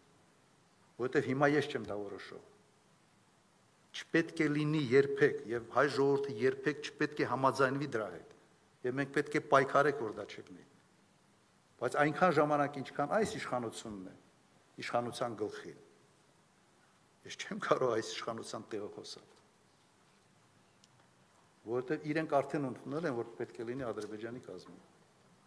Խնդրեմ, Նելի Գրիգորյան, այնուհետև երկու հարց էստեղ եւ առաջարկում Ես զարմանում եմ, որ իմ պարագայում ձեր մոտ ինչ-որ կասկածներ է առաջանում։ Դա այն ոչ չասես։ Բա ինչ ասես։ Էլ դրանից ավելի ինչ դրանից ավելի ինչ ասեմ։ Հնարեք։ Դրանից ավելի ինչ ասեմ։ Սերժ Սարգսյանը այո ասել է երբեք չի լինելու։ Հիմա եթե իրեն հարցնեք, դու երաշխավորում ես, որ չի լինելու։ Հասկանում եք։ Սերժ Սարգսյանը պայքարելու է, որ չլինի։ Ես էլ պայքարելու եմ, որ չլինի։ Ամեն ինչ անելու ենք Հասկանում եք, բայց մենք չենք կարող խոսել այս իշխանության անունից։ Խնդրեմ։ Եվ հույսով եմ, որ հայ ժողովուրդը թույլ չտա երբեք որ նման կարգի կարգավորում լինի Ղարաբաղի հարցի շուրջ, որովհետև դա նշանակելու է Ղարաբաղի հանձնում Ադրբեջանին։ Դա հայ չի մնալու, շատ կարճ ժամանակաշրջան։ Արավոտ օրաթերթ Նելի Գրիգորյան, պարոն նախագահ, մի քիչ պատմականորեն եմ էքսկուրսս ուզում կատարել եւ հարցս այդպես ձևակերպեմ։ Երբ առաջին նախագահ Լևոն Տեր-Պետրոսյանը հրաժարական տվեց, իր հրաժարականի հա այդ հայտարարության մեջ նա ձևակերպեց հայտնի ուժերի ազդեցության տակ ֆորմալ առումով խնդիրը Արցախյան հակամարտության դաշտում անհամաձայնությունների մեջ էր դիտարկվում եւ այդ ժամանակ քաղաքական կուլիսներում խոսակցություններ էին շրջանառվում, որ առաջին նախագահի ընդդիմախոսները, որոնց շարքում նաև դուք էիք, Վազգեն Սարգսյաններ, Սերժ Սարգսյաններ, այդ թվում նաև դուք, մի փաստաթուղթ էիք քարտեզով դրել նախագահ Տեր-Պետրոսյանի արչև, որտեղ 8000 քառակուսի կիլոմետր էր ենթադրվում Արցախը եւ անհապաղ անկախություն ճանաչել եւ առաջարկվել էր Տեր-Պետրոսյանին, եթե չի կարողանում ապահովի այդ պարագան, ուրեմն պետք է հրաժարական տա։ Տեր-Պետրոսյանը արդյունքում հրաժարական տվեց։ Հիմա հարցերս ձևակերպեմ այսպես. երբևէ այդ մասին պաշտոնական տեղեկատվություն չտարածվեց, սակայն ինչ այլ ընտրանք էր առաջարկվել Լևոն Տեր-Պետրոսյանին, որն էր նախագահ Տեր-Պետրոսյանի հրաժարականի իրական պատճառը, որովհետև այնուհետև իշխանության գալով Այդ այլընտրանքը կարծես թե համանախագահների սեղանին չդրվեց, քանի որ շարունակվեց բանակցային process-ում նախագահ Պետրոսյանի, Տեր-Պետրոսյանի թողած ժառանգության հիմքը։ Շնորհակալ։ Ինձ հայտնի չի այն իրադարձությունները, որը դուք նկարագրեցիք։ Ոքի չի եղել այդպես։ Այլընտրանք չի եղել։ Չի, այդպեսի բան չի եղել։ Ես չգիտեմ որտեղից է այդ տեղեկատվությունը, բայց ես այդ ժամանակահատվածի մասին իմ գրքում մանրամասն գրել եմ։ Դրանից ավել բան չի եղել։ Իրականում չի եղել։ Այն ժամանակ վեճ էր գնում, այսպես փուլային տարբերակով գնալ, տարածներից դուրս գալ, խաղապահները պետք է գային, մենք կողմեինք փաթեթային տարբերակի եւ ասում էինք, որ եթե մենք այս տարածներից դուրս գալ հաջորդ քայլը լինելու է ուղղակի մեզ Ղարաբաղը Ղարաբաղը վերացնելու է։ Մեր բանը դա է։ Մենք չէինք հավատում Ադրբեջանին եւ հավատալու հիմքեր չունեինք։ Չի եղել։ Ուղղակի Տեր-Պետրոսյանը այն ժամանակ որոշում է հետեւյալն էր։ Մենք մենք ասացինք հետ քաշվի այդ բանից։ Ինքը չէր ուզում հետ քաշվել։ Կամ բան։ Իրականում մենք ես այդ հարցերի վերաբերյալ բավական մանրամասն գրքում։ Հիմա ինչ վերաբերվում է ընդհանրապես տարբերակներին, ըստ էության այսօր ընդհանրապես Հայաստանի Ղարաբաղի հարցի կարգավորման ամբողջ պատմության մեջ բոլոր տարբերակները ներառյալ բոլոր տարբերակները կրկնեմ, քան այն, ինչ մենք ունենք այսօր։ Սա փաստ է։ Համենայն դեպս հադրուտ Շուշի կար բոլոր տարբերակների մեջ եւ բոլոր տարբերակների մեջ կարգավիճակի վերաբերյալ ենթադրում էր բանակցային գործընթաց, Մինսկի խմբի շրջանակներ, միջազգայինորեն ինչ որ որոշակի կարգավիճակներ, ավելի շատ կամ ավելի քիչ։ Մենք ստացանք ամենից վատ տարբերակ։ Եվ որ քանի որ այս իշխանությունը հայտարարել է, որ զորայական կետից է սկսում, այր զորոյական կետից սկսել է եւ բերել գրեթե մեզ հասցրել մեկ այլ զորոյական կետ։ Խնդրեմ ձեր հարցը եւ եւս մեկը եւ ավարտենք։ Արնդելի եմ Արփինե Պետրոսյան, պարոն Քոչարյան, ձեր հասցեին բազ, բազմիցս հնչել են քննադատություններ խորհրդարանական ընտրություններին մասնակցելու եւ Նիկոլ Փաշինյանի իշխանությունը լեգիտիմացնելու մասով կար տեսակետ, որ ընտրությունների արդյունքների ամփոփումից հետո քաղաքապես գրագետ կլիներ մանդատներից հրաժարումը եւ այս իշխանությունների համար ճգնաժամ ստեղծելը։ Ներկայում ստեղծված իրավիճակում կրկին անհրաժեշտություն չեք տեսնում մանդատները վայր դնելու եւ եթե այնուամենայնիվ գնաք այդ քայլին, որ պարագայում կգնաք եւ եթե գնաք այդ քայլին, արդյոք ձեր թիմի բոլոր անդամները միաձայն ձեզ հետ կգնան այդ քայլին։ Նայեք, իհարկե լսել եմ այդ մեղադրանքի մասին։ Դուք հիշեցրեք, քանի միավոր է մասնակցել այս ընտրություններին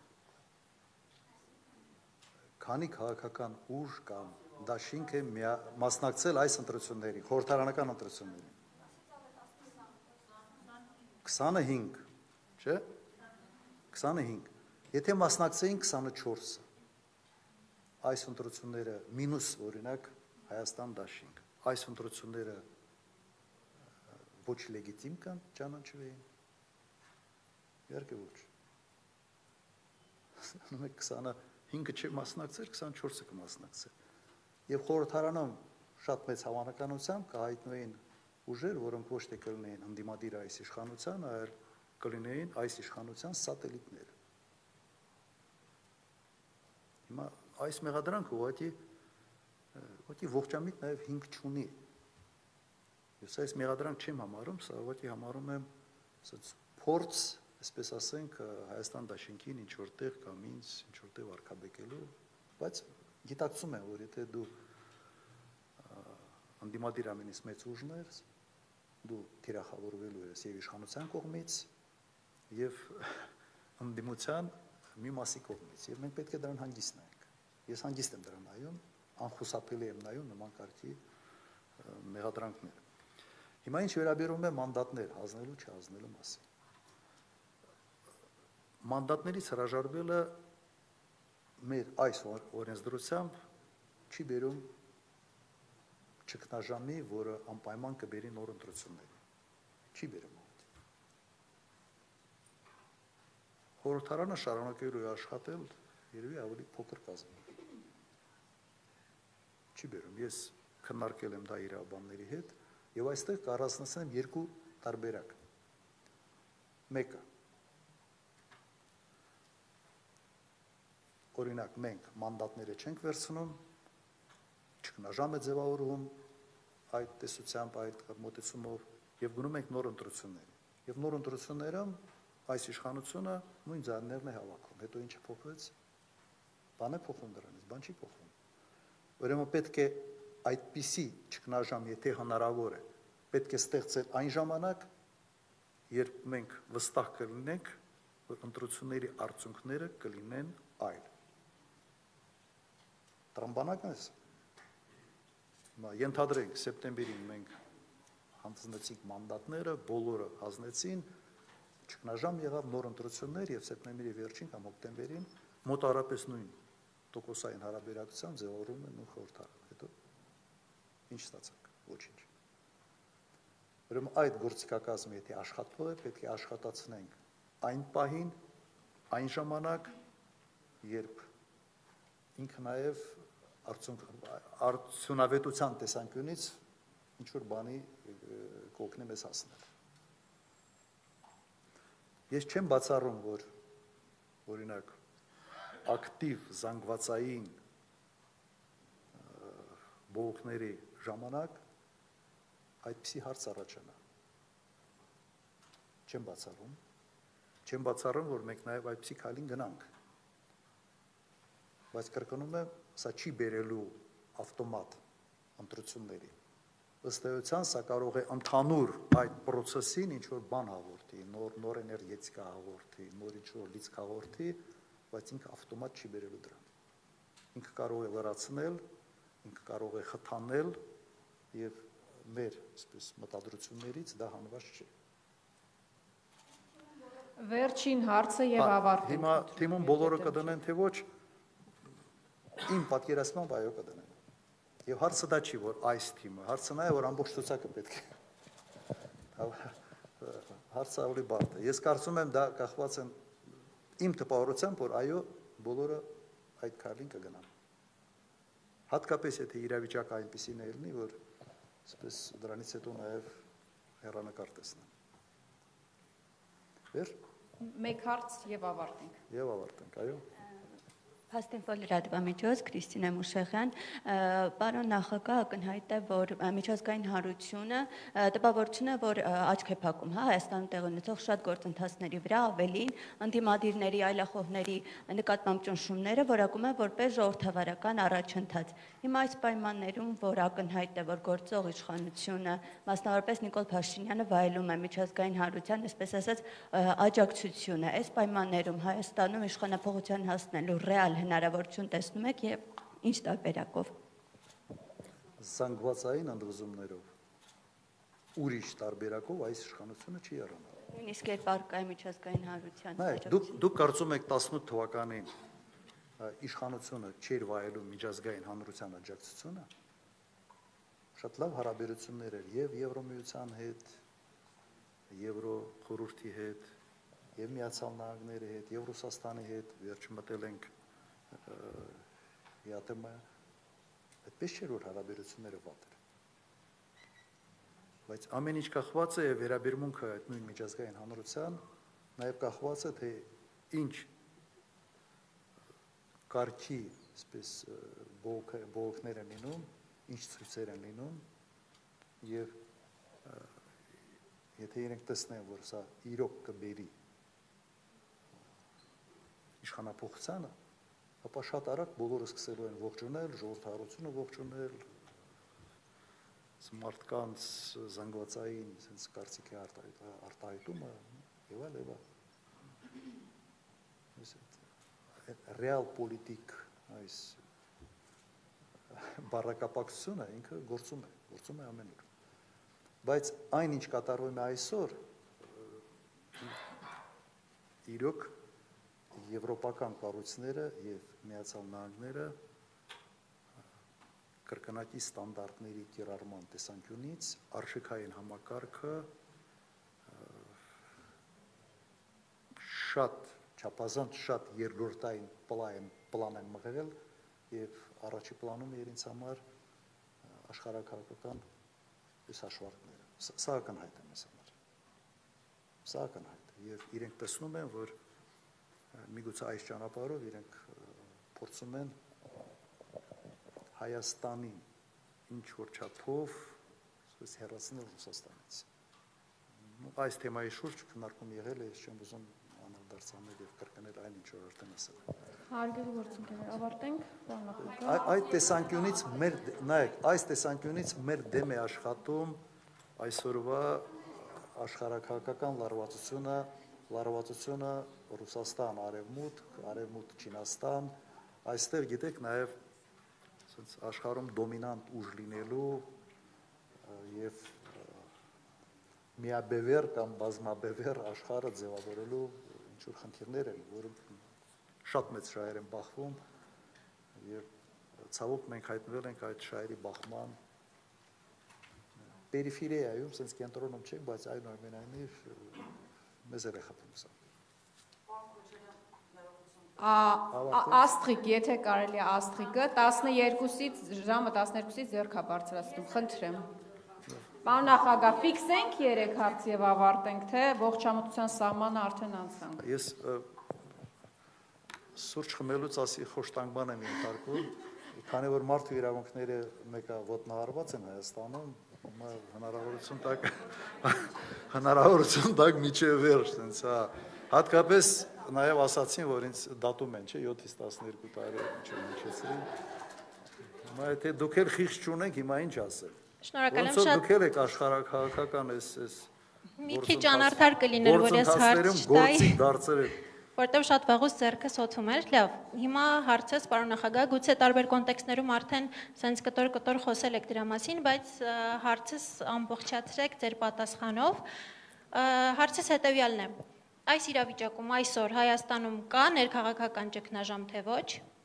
Եթե կա, ինչ ինչ է անում ընդդիմությունը ներքաղաքական ճգնաժամը ուղղորդելու համար։ Եթե չկա, ինչ քայլեր է կոնկրետ գործողությունները իրականացնում ընդդիմությունը ներքաղաքական ճգնաժամ հասունացնելու եւ իշխանություններին արտերտ գործընթացներով հեռացնելու համար, առավել եւս այն պայմաններում, երբ դուք քիչ առաջ նշեցիք, որ իշխանապողության գործընթացը Հայաստանում պատկերացնում եք միայն փողոցով։ Շնորհակալ եմ։ Գիտեք, Հայաստանում կա վստահության ճգնաժամ, Հայաստանում կա ինքնության ճգնաժամ, Հայաստանում կան բազմաթիվ այսպես ճգնաժամեր, բայց ես չեմ կարող ասել, որ այս պահին կա քաղաքական ճգնաժամ։ Քաղաքական ճգնաժամը նշանակում է ինչ որ փակողի, որտեղ կառավարությունը ուղղակի վիճակի չի աշխատել։ Բայց այդ մի շարք ճգնաժամերը իրար հետ միասին անպայման բերելու են քաղաքական ճգնաժամ։ Որտեղ այն այն տեմպերով, որով այս իշխանությունը կորցնում է իր հերենակությունը եւ այն տեմպերը, որով անդիմադիր տրամադրությունները ավելի զանգվածային են դարձնում Հայաստանում, ցույց է տալիս, որ մենք մենք գնում ենք այդ ուղղությամբ։ Բայց պնդել, որ կա այսօր քաղաքական ճգնաժամ, չեմ կարող Իսկապես չեմ կարող պնդել։ Դա կլինի, եթե մեզ հաջողվի ժողովրդին փողոցանել եւ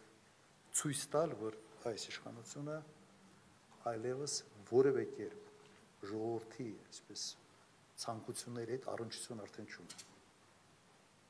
Աղքատացրել են ժողովրդին, իսկապես աղքատացրել են։ Եվ գիտեք, ամենի զարմանալի ինձ համար ինչ է։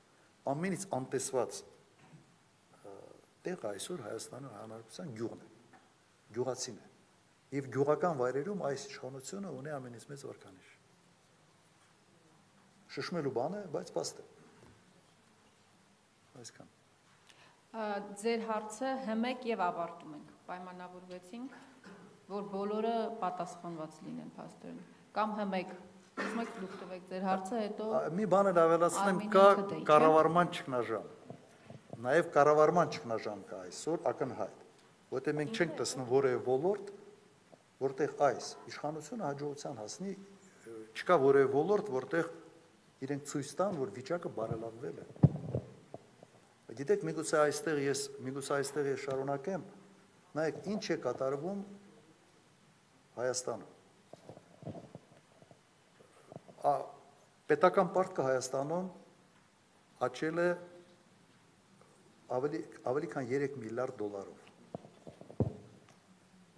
Ուրեմն այս իշխանությունը ամեն օր, ամեն օր պետական պարտքը ավելացնում է 2 միլիոն 2.8 միլիոն դոլարով ամեն օր այ մեր այս մամուլի ասուլիսի ընթացքում մենք գիշերն էլ քնելու ենք առավոտը զարթնելու ենք եւ ասելու ենք պլյուս մոտ 3 միլիոն դոլար պետական պարտք եւ հարց է առաջանում. Բայց ժողովրդի կյանքը խի է վատանում Եթե ամեն օր դու այդ պարտքը ավելացնում ես, ուր է գնում այդ գումարները։ Մեր բարձ քաղաքացին պետք է ամեն օր առավոտ զարթնի, ասի մեր պետական պարտքը ավելացավ մոտ 3 միլիոն դոլարով։ Ինչու իմ ազնական եկամուտը նվազեց այսքանով։ Ինչի իմ գումարներով ես շատ ավելի քիչ ապրանք եմ այսօր կարողանում գնել, քան կարող էի գնել մեկ օր առաջ, մեկ շաբաթ առաջ կամ մեկ ամիս առաջ։ Այդ հարցը մեր ժողովրդի մոտ պետք է առաջանա թե չէ։ 60% եք ասում, ավելի քան 60% պետական պարտքն է հարաբերակցությունը։ Հասկանում եք, դու աճեցնում ես պետական պարտքը, արտաքին պարտքը եւ մարդկանց կյանքը չի չի բարելավում, չի փոխվում, ավելի է վատանում։ Սա անունը ոնց դնենք։ Այո, կա պետական կառավարման լրջագույն ճգնաժամ։ Բայց դա դեռ չի բերել քաղաքական ճգնաժամ ի հավելումը ձեր հարցը։ Հանրային ձեր հարցը եւ Արմենյան ԹԴ եւ ավարտում ենք։ Անի Օհանյան, պարոն Քոչարյան, ձեր խոսքում նկատեցիք, որ հասարակությունը հիասթափվել է եւ իշխանությունից եւ նաեւ ընդդիմությունն է, հա, որոշակի վարկանիշի կորուստ ունեցել եւ նկատեցիք, որ ընդդիմության վարկանիշի կորուստը կորուստը դա դեռ չի նշանակում, որ այդ զանգվածը դարձել է իշխանության սատարող։ Այսպեսի մի հարց, հետո հնարավոր է, որ այդ ընդդիմություն եւ նշեցիք, որ ընդդիմադիր զանգվածն այս պահին Հայաստանում ավելի մեծ է։ Այդ դեպքում հնարավոր է, որ հենց ընդդիմության զանգվածը չի սատարում անձամբ Ռոբերտ Քոչարյանին եւ ընդդիմության շանսերն ավելի մեծ կլիներ իշխանության հեռացման գործում, եթե ընդդիմության առաջնորդը ամենամեծ ֆրակցիայում երկրորդն է համենայն դեպս առաջնորդը չլիներ Ռոբերտ Քոչարյանը Նայեք, ես իջած հետարքիր հարցը շնորհակալություն դեպ գիտեմ, որ նաև նման կարծիք գոյություն ունի։ Այո, դիմադիր զանգվածը աճում է, եւ ես ասել եմ, որ չի աճում ամբողջությամբ մեր օգտին։ Եթե օրինակ 100 միավոր ավելացել է, կարող այդ 100 միավորից 10 միավորն է մեր օգտին։ Ասած կարող է մեր օգտին չի։ Բայց ընդդիմության առաջնորդը հրամանագրով չի նշանակվում։ Այդպես չի, որ ինչ որ միտեղ հավաքվեցին 3 հոգի կամ 5 հոգի կամ 10 հոգի եւ որոշում կայացրեցին, որ այսօրվանից ընդդիմության առաջնորդը Պողոսն է կամ Պետրոսն է։ Այդպես չի լինում։ Հիմա ընդդիմության ամենից մեծ զանգվածը ունի Հայաստան դաշինքը, դա փաստ է։ Մենք երբեք ոչ մեկին չենք խանգարել, հակառակը մենք միայն աջակցում ենք եւ ողջունում ենք եթե հայտնում են այլ գործիչներ, որոնք կարող են ավելի մեծ զանգվածներ իրենց դրոշների տակ բերել։ Աջակցենք, անձամբ ես պատրաստ եմ աջակցել նաև նման պետական գործ անդիմադիր գործիչներին։ Հիմա նաև այսօր ես եթե ուշադիր եք եղել, նաև ասել եմ, որ փողոցային պայքարը չպետք է լինի անձի իշխանության բերելու մասին իշխանության պայքարը պետք է լինի անձի իշխանությունից հեռացնելու մասին։ Իմ տպավորությամբ իշխանության է գալու այդ պահին, այդ ժամանակ այն քաղաքական ուժը, որը լինի ավելի վճռական, որը այդ առաջնորդի դրոշը, ասած միգուցե ինչ որ չափով նաև ագրեսիվ, այդ դրանք դառնալու են այդ զանգ այդ զանգվածային պայքարից հետո ենթադրում եմ գալու են իշխանության։ Եթե դա մենք չլինենք, ուրեմն ուրիշ է լինելու։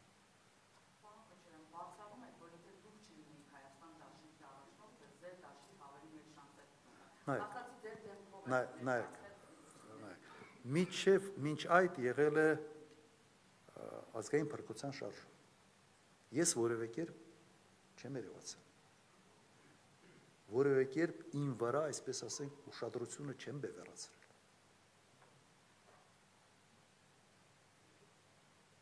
Հասկանում եք, դրա համար ես չեմ տեսնում, թե այդ process-ում ես ինչով եմ հանգարում։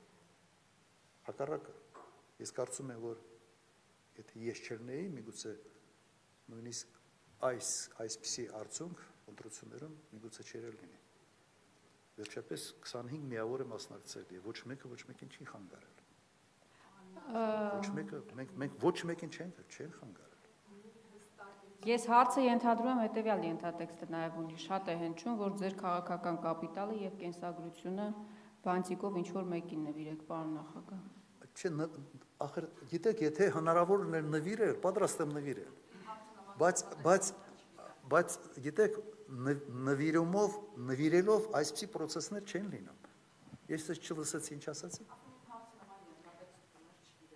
Լավ, եւ ավարտենք։ Մեկ հարց եւ ավարտենք, եթե դեմ չեք։ Ավարտում ենք։ Շատ լավ կլներ, եթե հնարավոր ուներ, գիտեք, sense որոշեք մի քանի հոգով ասենք, այսո, բանը, այս ժողովրդի առաջնորդը դու ես, գնա եւ շատ լավ կլներ։ Միգուցե մենք էլ կմտածենք, թե այս պատասխանատվության տակ արժի մնալ, թե արժի չմնալ, բայց սա սա առաքելություն է։ Չէ, չես կարող եթե մտել ես այս բանի մեջ, ուղղակի պարտավոր ես միջև վերջ գնալ։ Մոտեցումը սա է պարտավոր ենք միջև վերջ պարտավոր ենք պայքարել եւ պայքարելու ենք եւ հասնելու ենք հաջողության Ես ճիշտ հասկացա ձեր հայտարարությունը, այսինքն հաղթահարված են բոլոր ամբիցիաները իշխանության տեսնելու։ Հիշում եք առաջին նախագահ Պետրոսյանը առաջարկ էր արել իշխանության չգալ, համատեղ պայքարել Նիկոլ Փաշինյանին հեռացնելու։ Հետո Սերժ Սարգսյանը հայտարարեց, որ եթե ընդդիմությունը ցանկություն ունենալ Նիկոլ Փաշինյանին հեռացնելու ոչ թե իշխանության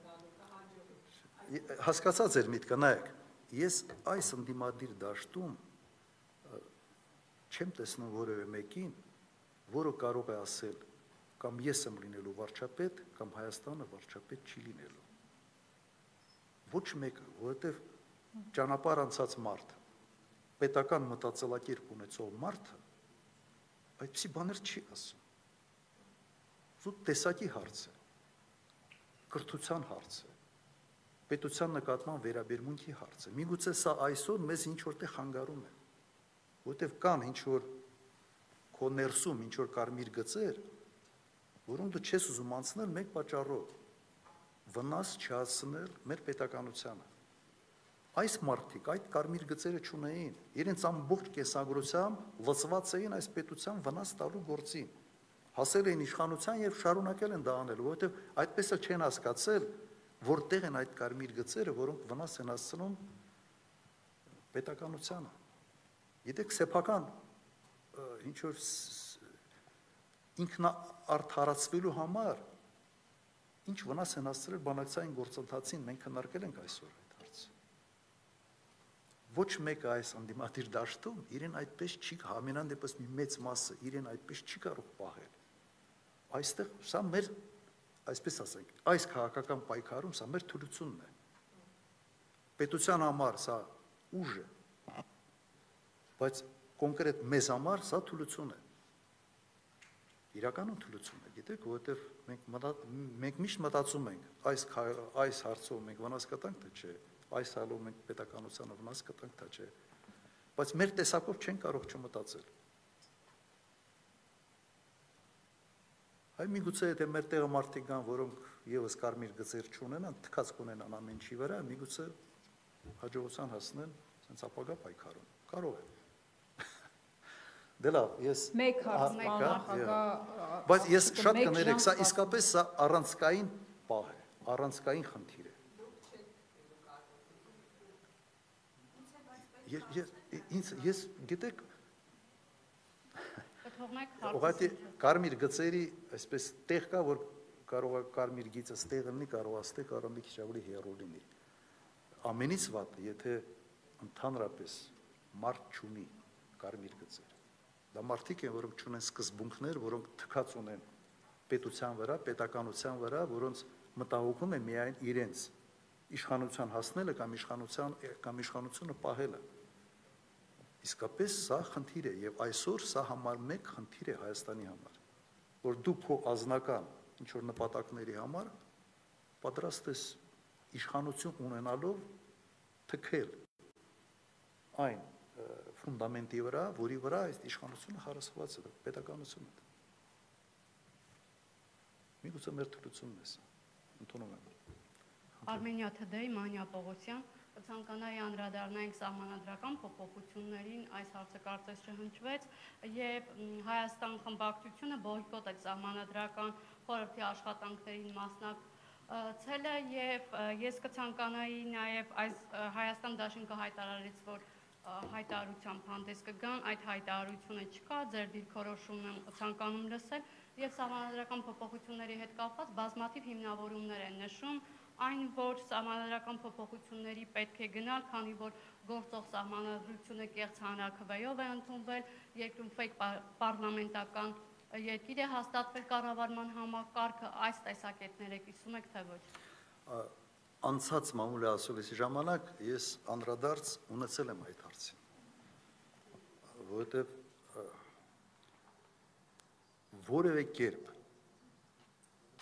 բացատրություն չկա թե ինչի են գնում համանadrական բարեփոխումների ես չեմ տեսնում որ նաև